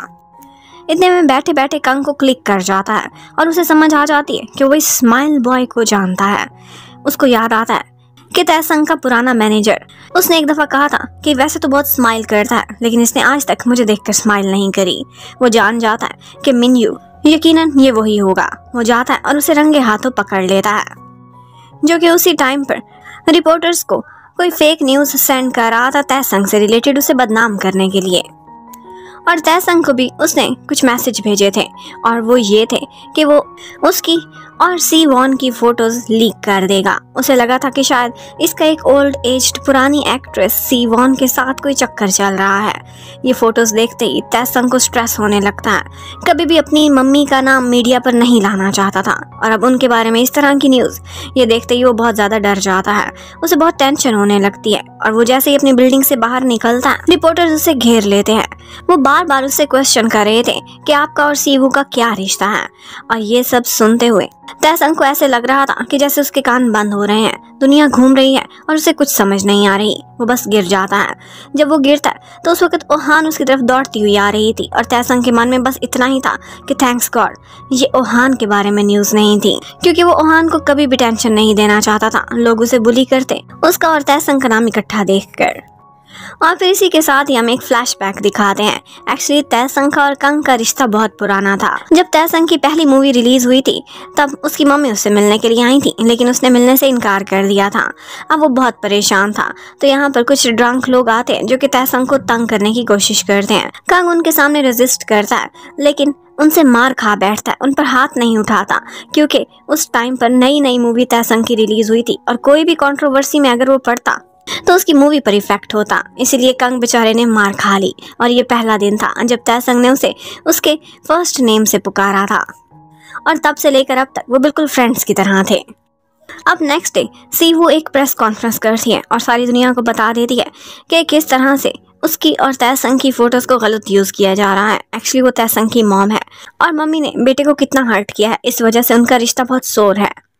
तैसंग को ये सब देखकर गुस्सा आ रहा था, क्योंकि उसने कहा था कि वो कभी भी सीवू के बेटे के नाम से अपनी पहचान नहीं चाहता। उसने तो ओहान को भी रोका था कि प्रेस कॉन्फ्रेंस मत होने देना, मैं कुछ भी बर्दाश्त कर लूँगा, लेकिन मुझे अपना नाम सीवू के नाम के साथ नहीं चाहिए। पर ओहान ने ये स्टेप ले लिया था, क्योंकि इस वक्त बहुत ज़रूरी था, इसी वजह से उनके बीच थोड़ी बहुत लड़ाई भी हो चुकी थी। दूसरी तरफ़ मिस्टर डो को दिखाते हैं। वो अक्सर चॉय के ब्लॉग्स को पढ़ता था और वो जो आर्टिकल्स लिखा करती थी, उसे काफ़ी इंटरेस्टिंग लगते थे। वो उसकी तारीफ़ भी किया करता था, उसके पर्सनल नंबर पर मैसेज करके। इसी तरह से उनके बीच काफ़ी नज़दीकियाँ बढ़ने लगी थी। अब बेचारा तयसंग एक कंट्रोवर्सी से निकला नहीं था कि अगली में फंस गया था। एक्चुअली जब वो अफ्रीका में रहा था तो वहाँ पर एक बच्चा था, जिसका नाम लूका था, और उस बच्चे के मम्मी डैडी नहीं थे। और तैसंग उसका बहुत ख्याल रखता था। उसने अफ्रीका से उसे लेटर भी भेजा था, जिसमें वो तैसंग को पापा कह रहा था, और यही लेटर लीक हो गया था, और लोग कहते थे कि उसका अफ्रीका में एक इलीगल चाइल्ड है और उसी की केयर करने के लिए वो एक साल पीछे वहाँ पर गया था। लेकिन जो लोग उसे अच्छे से जानते थे, वो सब ये पहचान गए थे कि ये सिर्फ़ एक र्यूमर है। जिनमें ओहान भी शामिल थी और उसके साथ साथ दाहे भी। दाहे के पास तयसंग जाता है, लेकिन वो कहती है कि किसी कंट्रोवर्सी को लेकर मैं बिल्कुल भी परेशान नहीं। हम दोनों को स्टार्स हैं और आपका साथ देना मेरा फ़र्ज़ है। वो कभी भी उसे ये फील नहीं कराने देती थी कि वो उसकी एक क्रेजी फ़ैन है। अब ओहान से तो तासंग मिल नहीं रहा था। जबकि ओहान जब ऑफ़िस में थी तो उससे मिलने के लिए कोई आता है, और वो थी सीवू, जो कि आकर उसका थैंक्स करती है कि तुमने मुझे उस प्रेस कॉन्फ्रेंस करने के लिए अग्री किया। मैं उसे समय नहीं दे पाई, इसलिए मैं बहुत शर्मिंदा हूँ, और वो बताती है कि उसे अल्जाइमर की बीमारी है, और अब उसकी मेमोरीज आहिस्ता आहिस्ता इरेज होती जा रही हैं। इससे पहले कि अपने बेटे के साथ किया हुआ जुल्म उसे भूले, वो उसे माफ़ी मांगने के लिए आई है। वेल अब नेक्स्ट डे तयसंग फाइनली उसका गुस्सा ठंडा हो ही जाता है और वो ऑफ़िस में आता है और वुहान को कहता है कि मैंने तुम्हें मिस किया। वो कहती है कि मैंने भी तुम्हें बहुत मिस किया और वो उसका हाथ पकड़ कर उससे सॉरी करता है कि सब ज़रूरत थी, इसलिए तुमने ये स्टेप लिया। मैंने तुम पर फजूल में इतना गुस्सा किया। अब उसके बाद कंग भी तैसंग को समझाता है कि तुम्हारी मम्मी के साथ क्या प्रॉब्लम्स चल रहे हैं और एक दफ़ा उनको एक चांस तो देकर देखो। और इसके साथ साथ उनका सीईओ भी सीवू से जाकर मिलता है। वो सीवू को अच्छे से जानता था और उसे ये भी पता था कि जब तैसंग के डैड की डेथ हुई थी तो उस टाइम पर उसने प्लेन से उतरने की कोशिश की थी, लेकिन तब तक प्लेन टेक ऑफ़ कर चुका था। उनके फ्यूनरल पर वो शर्मिंदगी की वजह से नहीं पहुँच सकी और बाहर ही खड़ी रही। एक्चुअली इन्हीं मिसअंडरस्टैंडिंग्स की वजह से उस माँ और बेटे के बीच इतने प्रॉब्लम्स क्रिएट हुए हुए थे इतने सालों से। आज तैसंग को कांग अपने साथ लेकर आता है और मम्मी उसे बहुत कुछ एक्सप्लेन करती हैं। उससे माफ़ी भी मांगती हैं कि मुझसे बहुत गलतियाँ हुई थी, पर इससे पहले कि मेरी मेमोरीज ख़त्म हो जाए, मैं ये भी पहचानना छोड़ दूँ कि तुम कौन हो। मैं तुमसे माफ़ी मांगने आई हूँ। और तैसंग भी फाइनली उनको माफ़ कर ही देता है और वो दोनों माँ बेटा एक दूसरे को हक करते हैं। और उसके बाद सीवू तयसंग को छोड़ अपनी उसी दुनिया में वापस चली जाती है जहाँ से वो आई थी। और उसके बाद ओहान जाता है और तयसंग को हक करता है, उसका थैंक्स करता है कि तुम फ्रेंड्स की एफर्ट्स की वजह से ही मेरे दिल पर जो इतने सालों से पत्थर रखा हुआ था, अब वो हट चुका है। और उधर दूसरी तरफ़ हमें दिखाते हैं कि यूना और जयहून वो दोनों आपस में ब्रेकअप कर चुके थे, क्योंकि उन्हें लगता था कि उनका जब ट्रुथ आउट होगा तो दुनिया उनको ब्लेम करेगी और ये उनके कैरियर के लिए अच्छा नहीं है। स्टार्ट में ही कंट्रोवर्सी में नहीं पढ़ना चाहते थे। और उनके साथ साथ उनके जो ड्रामे में रोल था, उन्होंने भी आपस में ब्रेकअप कर लिया था। और ये सीन बहुत रियलिस्टिक सा शूट होता है। अब एक दिन कंग और योंग दोनों डिनर पर मिलते हैं और उसके बाद वो दोनों वॉक कर रहे थे कि यहाँ पर योंग इतनी शर्मिंदा होती है कि कंग से कहती है, क्या तुम प्लीज़ भुला सकते हो। जो मैंने तुमसे एक दफ़ा अपना लव कन्फेस किया था, भूल जाओ। समझा ऐसा कभी भी नहीं हुआ था। लेकिन कंग कहने लगता है, क्यों भूल जाऊँ? ये तो मेरी लाइफ का एक बहुत कीमती मोमेंट था और उसे बताने लगता है कि सोचने में मुझे थोड़ा तो समय लगा। लेकिन अब मैं भी तुमसे प्यार करता हूँ और उसको यस कर देता है। वो कहता है कि पहले मुझे अपना काम ज़्यादा पसंद था। वो कहता है कि पहले मैं अपने काम में ज़्यादा सीरियस था और मैं वर्क प्लेस पर कभी भी रोमांस नहीं करना चाहता था। लेकिन मुझे अब लगता है कि काम से भी बढ़कर मेरे लिए ज़्यादा इंपॉर्टेंट तुम हो चुकी हो। हम उसके बाद ओहान और तैसंग दोनों मिलकर अपने उसी कॉमन फ्रेंड लूका की ग्रेव पर जाते हैं, जिसका रियल नेम जिसका रियल नेम यून यूनू था। वो उसे शेयर करते हैं कि किस तरह से अब हम दोनों डेट कर रहे हैं और कैसे तैसंग की और उसकी मामा की आपस में सुलह भी हो चुकी है। लेकिन जैसे ही तैसंग वहाँ से वापस घर आता है तो वो देखता है कि उसके दरवाजे पर किसी ने नोट रखा हुआ है और यही लिखा हुआ था कि ये मत भूलना कि यूनवू की डेथ तुम्हारी वजह से हुई थी।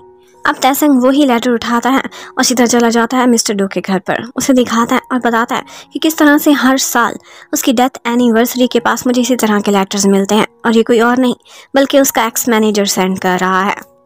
उसके एक्स मैनेजर का नाम मिस्टर यू था। और मिस्टर यू को ऐसा लगता था कि जैसे तैसंग की वजह से ही यूनवू की जान गई है।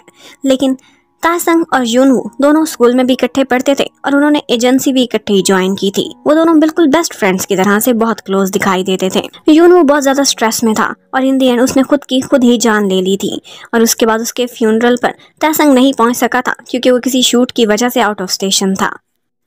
वेल well, अब उसकी डेथ एनिवर्सरी तो गुजर जाती है और उसके बाद सारे लोग उसी बार में जाते हैं जहाँ पर मिस्टर यू काम करता था लेकिन मिस्टर यू उस टाइम पर वहाँ नहीं था।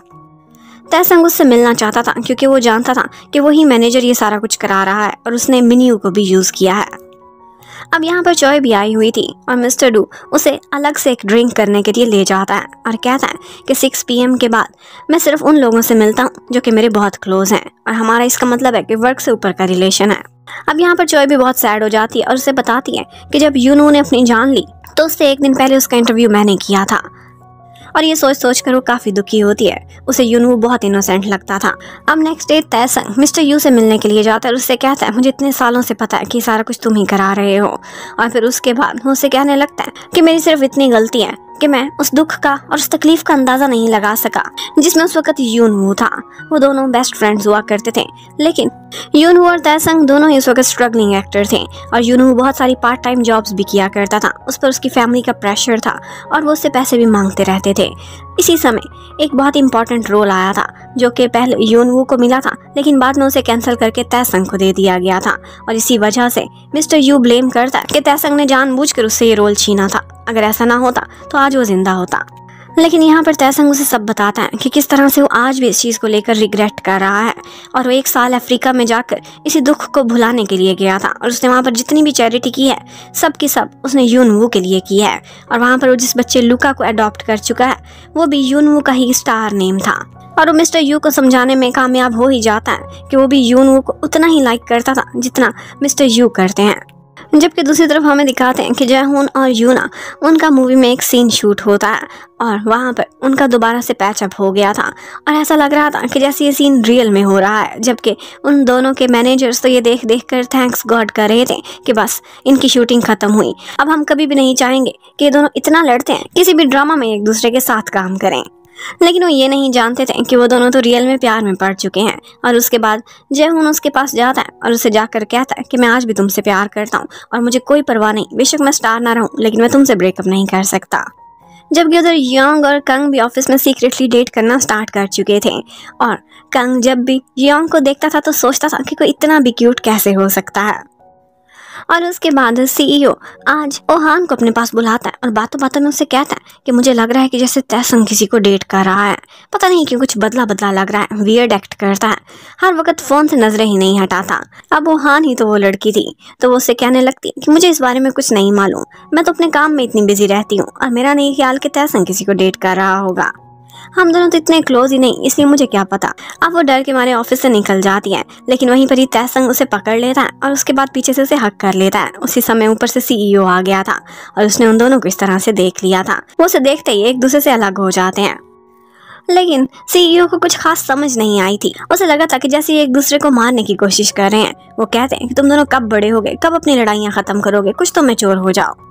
अब उनको तसल्ली हो जाती है कि आज तो हम बच गए हैं, लेकिन आधा से हम फास्ता रखेंगे, वरना ये ना हो कि ऑफ़िस में ये सब कुछ लीक हो जाए कि हम लोग डेट कर रहे हैं। अब एक दिन तयसंग बहाने बहाने से पूरे ऑफ़िस कोलीग्स के लिए कुछ स्वीट्स लेकर आता है, लेकिन एक्चुअली वो अपनी ओहान के लिए लेकर आया था, उसके फेवरेट स्नैक्स लेकिन किसी को कुछ पता ना चले, उसे पूरे ऑफ़िस को ही देने पड़ते हैं। लेकिन वो ये नहीं जानते थे कि ऑफ़िस के सारे लोग तो पहले ही उन पर शक करते हैं कि वो दोनों सीक्रेटली डेट कर रहे हैं, जब उनके बीच कुछ ऐसा था ही नहीं, तब से लेकर अब तक। अब एक दिन तैसंग और ओहान दोनों घर पर बैठे हुए थे और इकट्ठे मूवी एंजॉय कर रहे होते हैं। तैसंग कहता है कि मैं अपनी गर्लफ्रेंड को अपने साथ कहीं बाहर डेट पर लेकर जाना चाहता हूँ, लेकिन ओहान कहती है कि आजकल हमें ज़्यादा एहतियात करनी पड़ेगी। इसलिए हम वही समय इकट्ठे बिता सकते हैं जो मैं तुम्हारे घर आ जाऊँ या फिर हम ऑफ़िस में मिलें। अब तैसंग को एक शैतानी आइडिया आ गया था और वो ऐसा करता है कि जाता है सीईओ के पास और उससे कहने लगता है कि मैं अगला ड्रामा एक ऑफ़िस रोमांस पर करना चाहता हूँ, इसलिए मुझे वाइब चाहिए। मैं थोड़े दिनों ऑफ़िस में ही काम करूँगा। अब इसी बहाने वो रोज़ाना एक सीईओ का ड्रेस अप करके ऑफ़िस में पहुँच जाया करेगा और अपनी ओहान के साथ ज़्यादा से ज़्यादा समय बिताएगा। ओहान को भी उसका ये आइडिया पसंद आता है और वो सोचती है कि इस तरह से कोलीग्स हम पर शक भी नहीं करेंगे।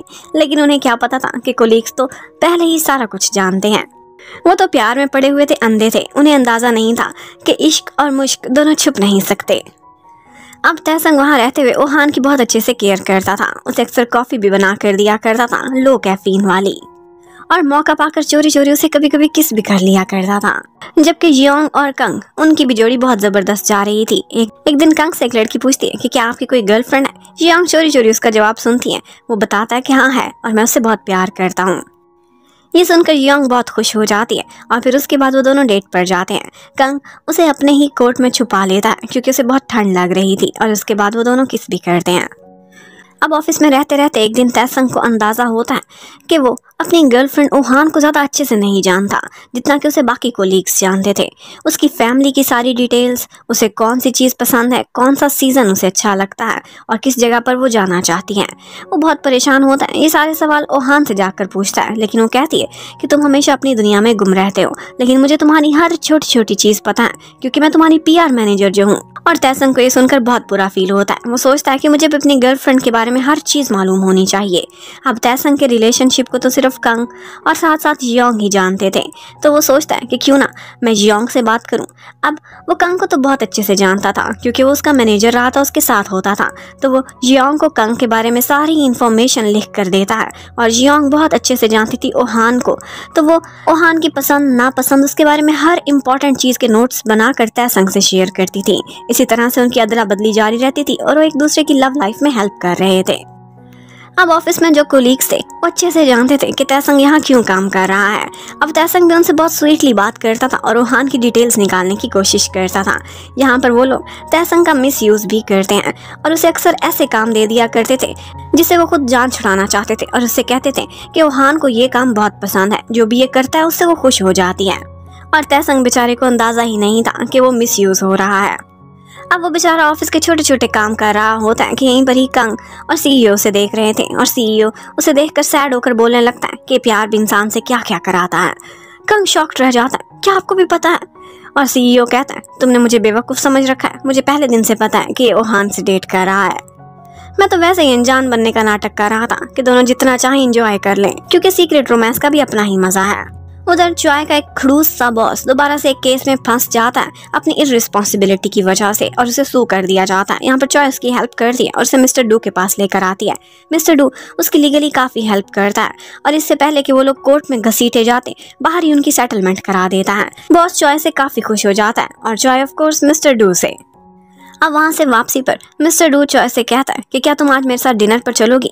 तो चॉय कहती है कि आप तो छः बजे के बाद काम की बात ही नहीं करते कोलीग से नहीं मिलते, ना ही कोई बिज़नेस पर डील करते हैं। तो कहने लगता है कि इसका मतलब है कि मैं तुम में ज़्यादा ही इंटरेस्टेड हूँ और बिज़नेस से अलग होकर। और तैसंग आजकल अपने दिन बहुत ज़्यादा इंजॉय कर रहा था। वो सारा दिन अपनी गर्लफ्रेंड के साथ रहता था और शाम भी वो दोनों इकट्ठे ही बिताते थे।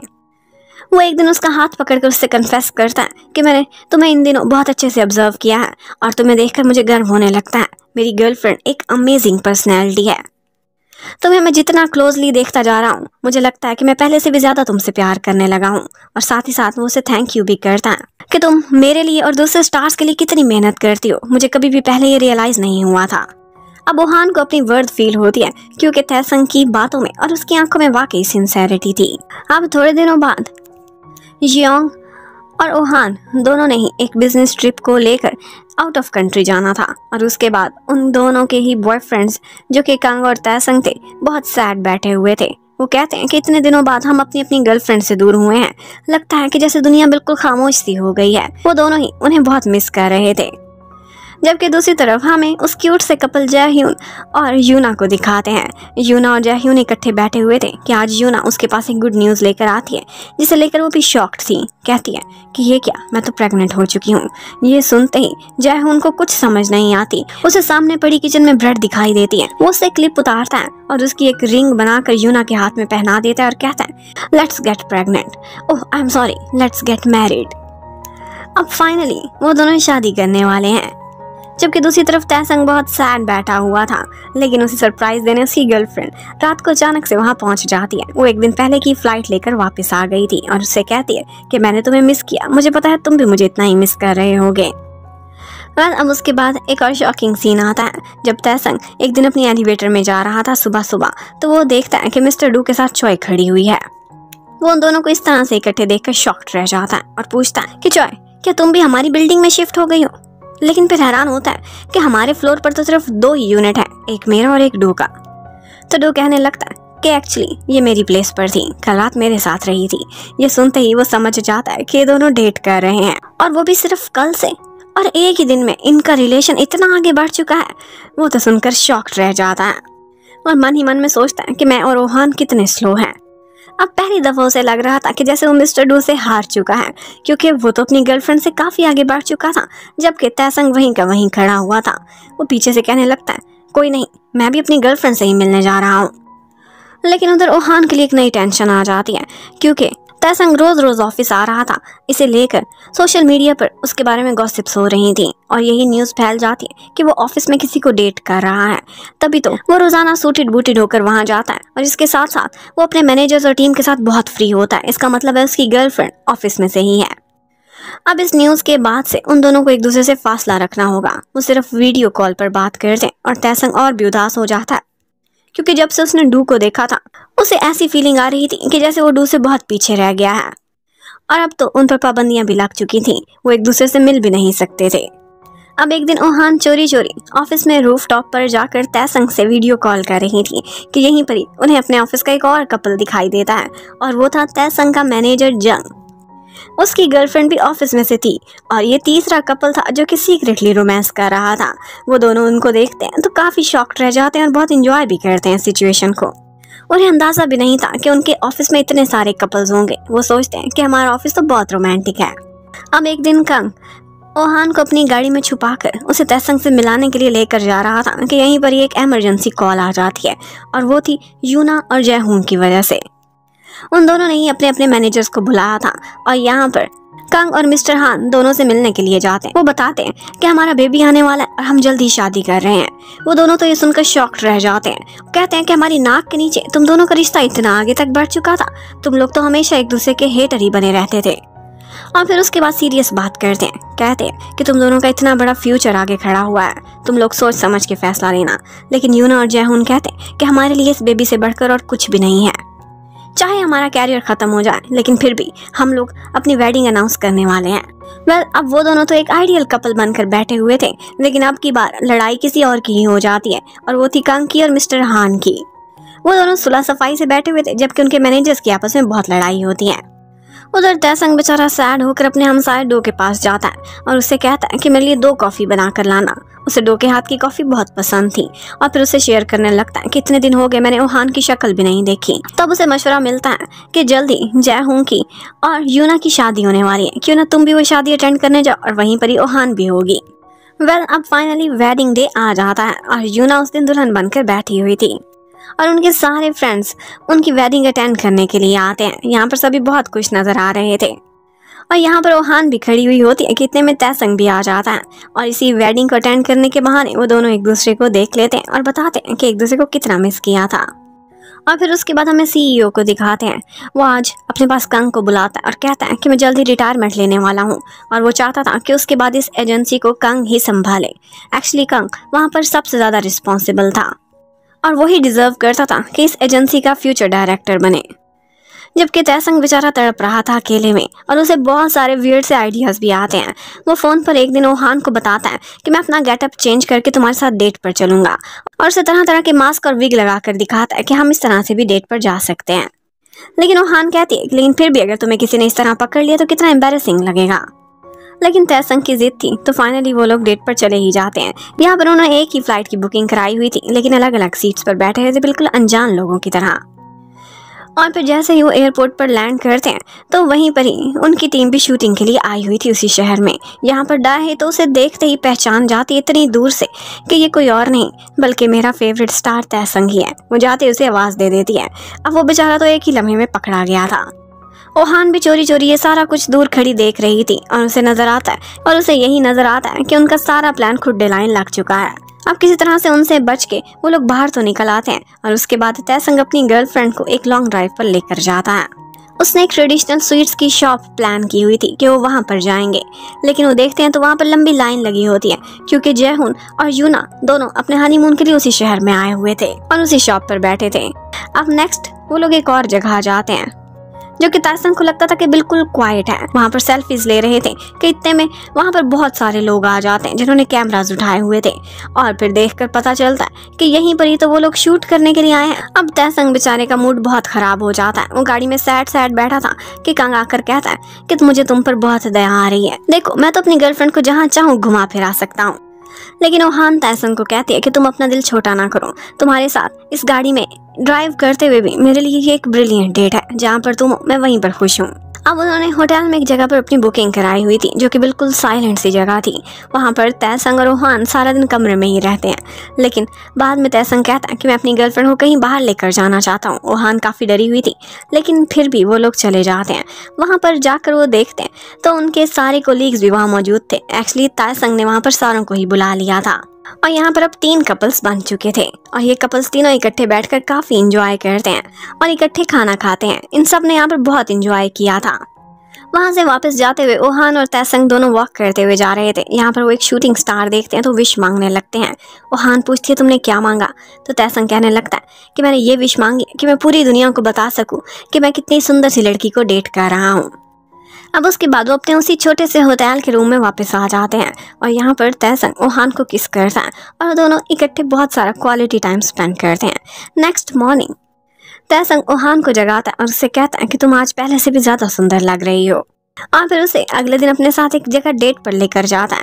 लेकिन जाकर देखते हैं तो वहाँ पर मिस्टर डो और चोए दोनों डेट पर आए हुए थे। वो सोचते हैं कि यहाँ से कहीं और ही जाना पड़ेगा। वो उसे वुड्स में ले जाता है। कहते फॉरेस्ट में तो कोई नहीं आया होगा, लेकिन वहाँ पर तो कंग और जियोंग आए हुए थे। और उनके तीसरे पॉइंट पर पहले से ही यूना और जयहून मौजूद थे। वो सोचते हैं कि क्या हमें भी कभी कोई प्राइवेट पॉइंट मिलेगा? और फिर उसके बाद वो लोग एक जगह सी साइड पर किसी को भी नहीं देखते तो वहीं पर खड़े होकर इंजॉय करने लगते हैं। लेकिन यहाँ पर ओहान को एक एमरजेंसी कॉल आ जाती है, जो कि एक रिपोर्टर की तरफ़ से थी। वो यही कंफर्म करने के लिए ओहान को कॉल कर रहे थे कि हमने सुना है कि जेजो आइलैंड पर तैसंग एक नॉन सेलिब्रिटी गर्ल के साथ डेट पर गया हुआ है। वो कहती है कि ठीक है, मैं आपको कंफर्म करके बताती हूँ। और उसके बाद वो तयसंग से पूछती है कि क्या तुम ओहान को डेट कर रहे हो? और तैसंग तुरंत ही कह देता है कि हाँ मैं उसे कर रहा हूँ। अनाउंस कर दो ऑफिशियली अब फाइनली उन दोनों ने फैसला किया था कि वो अपना रिलेशनशिप पब्लिक कर देंगे। तयसंग कहता है कि ओहान, जब मैं तुम्हारे साथ हूँ, तुम्हें किसी से डरने की कोई ज़रूरत नहीं, और इसके साथ ही वो दोनों किस करते हैं। और फिर हमें थोड़ी देर से बाद का सीन दिखाते हैं। सबकी लाइफ बिल्कुल सेट जा रही थी। मिस्टर कंग नया सीईओ बन चुका था। दाहे का ड्रामा हिट गया था और उसे बहुत सी नई ऑफर्स आ रही थी। और इसके साथ साथ जयहुन और यूना दोनों स्टार कपल बन चुके थे और बहुत से ब्रांड्स उन्हें अपनी प्रमोशन के लिए हायर कर रहे थे। उनका कैरियर खत्म होने की बजाय और भी चढ़ता जा रहा था। जबकि ओहान और तैसंग दोनों खुलकर डेट कर रहे थे। पूरी दुनिया उन्हें जानती थी और उन्हें अब किसी से छुपने की कोई ज़रूरत नहीं थी। और बस इसी के साथ ही इस कहानी की हैप्पी एंडिंग हो जाती है। Thank you for watching bye bye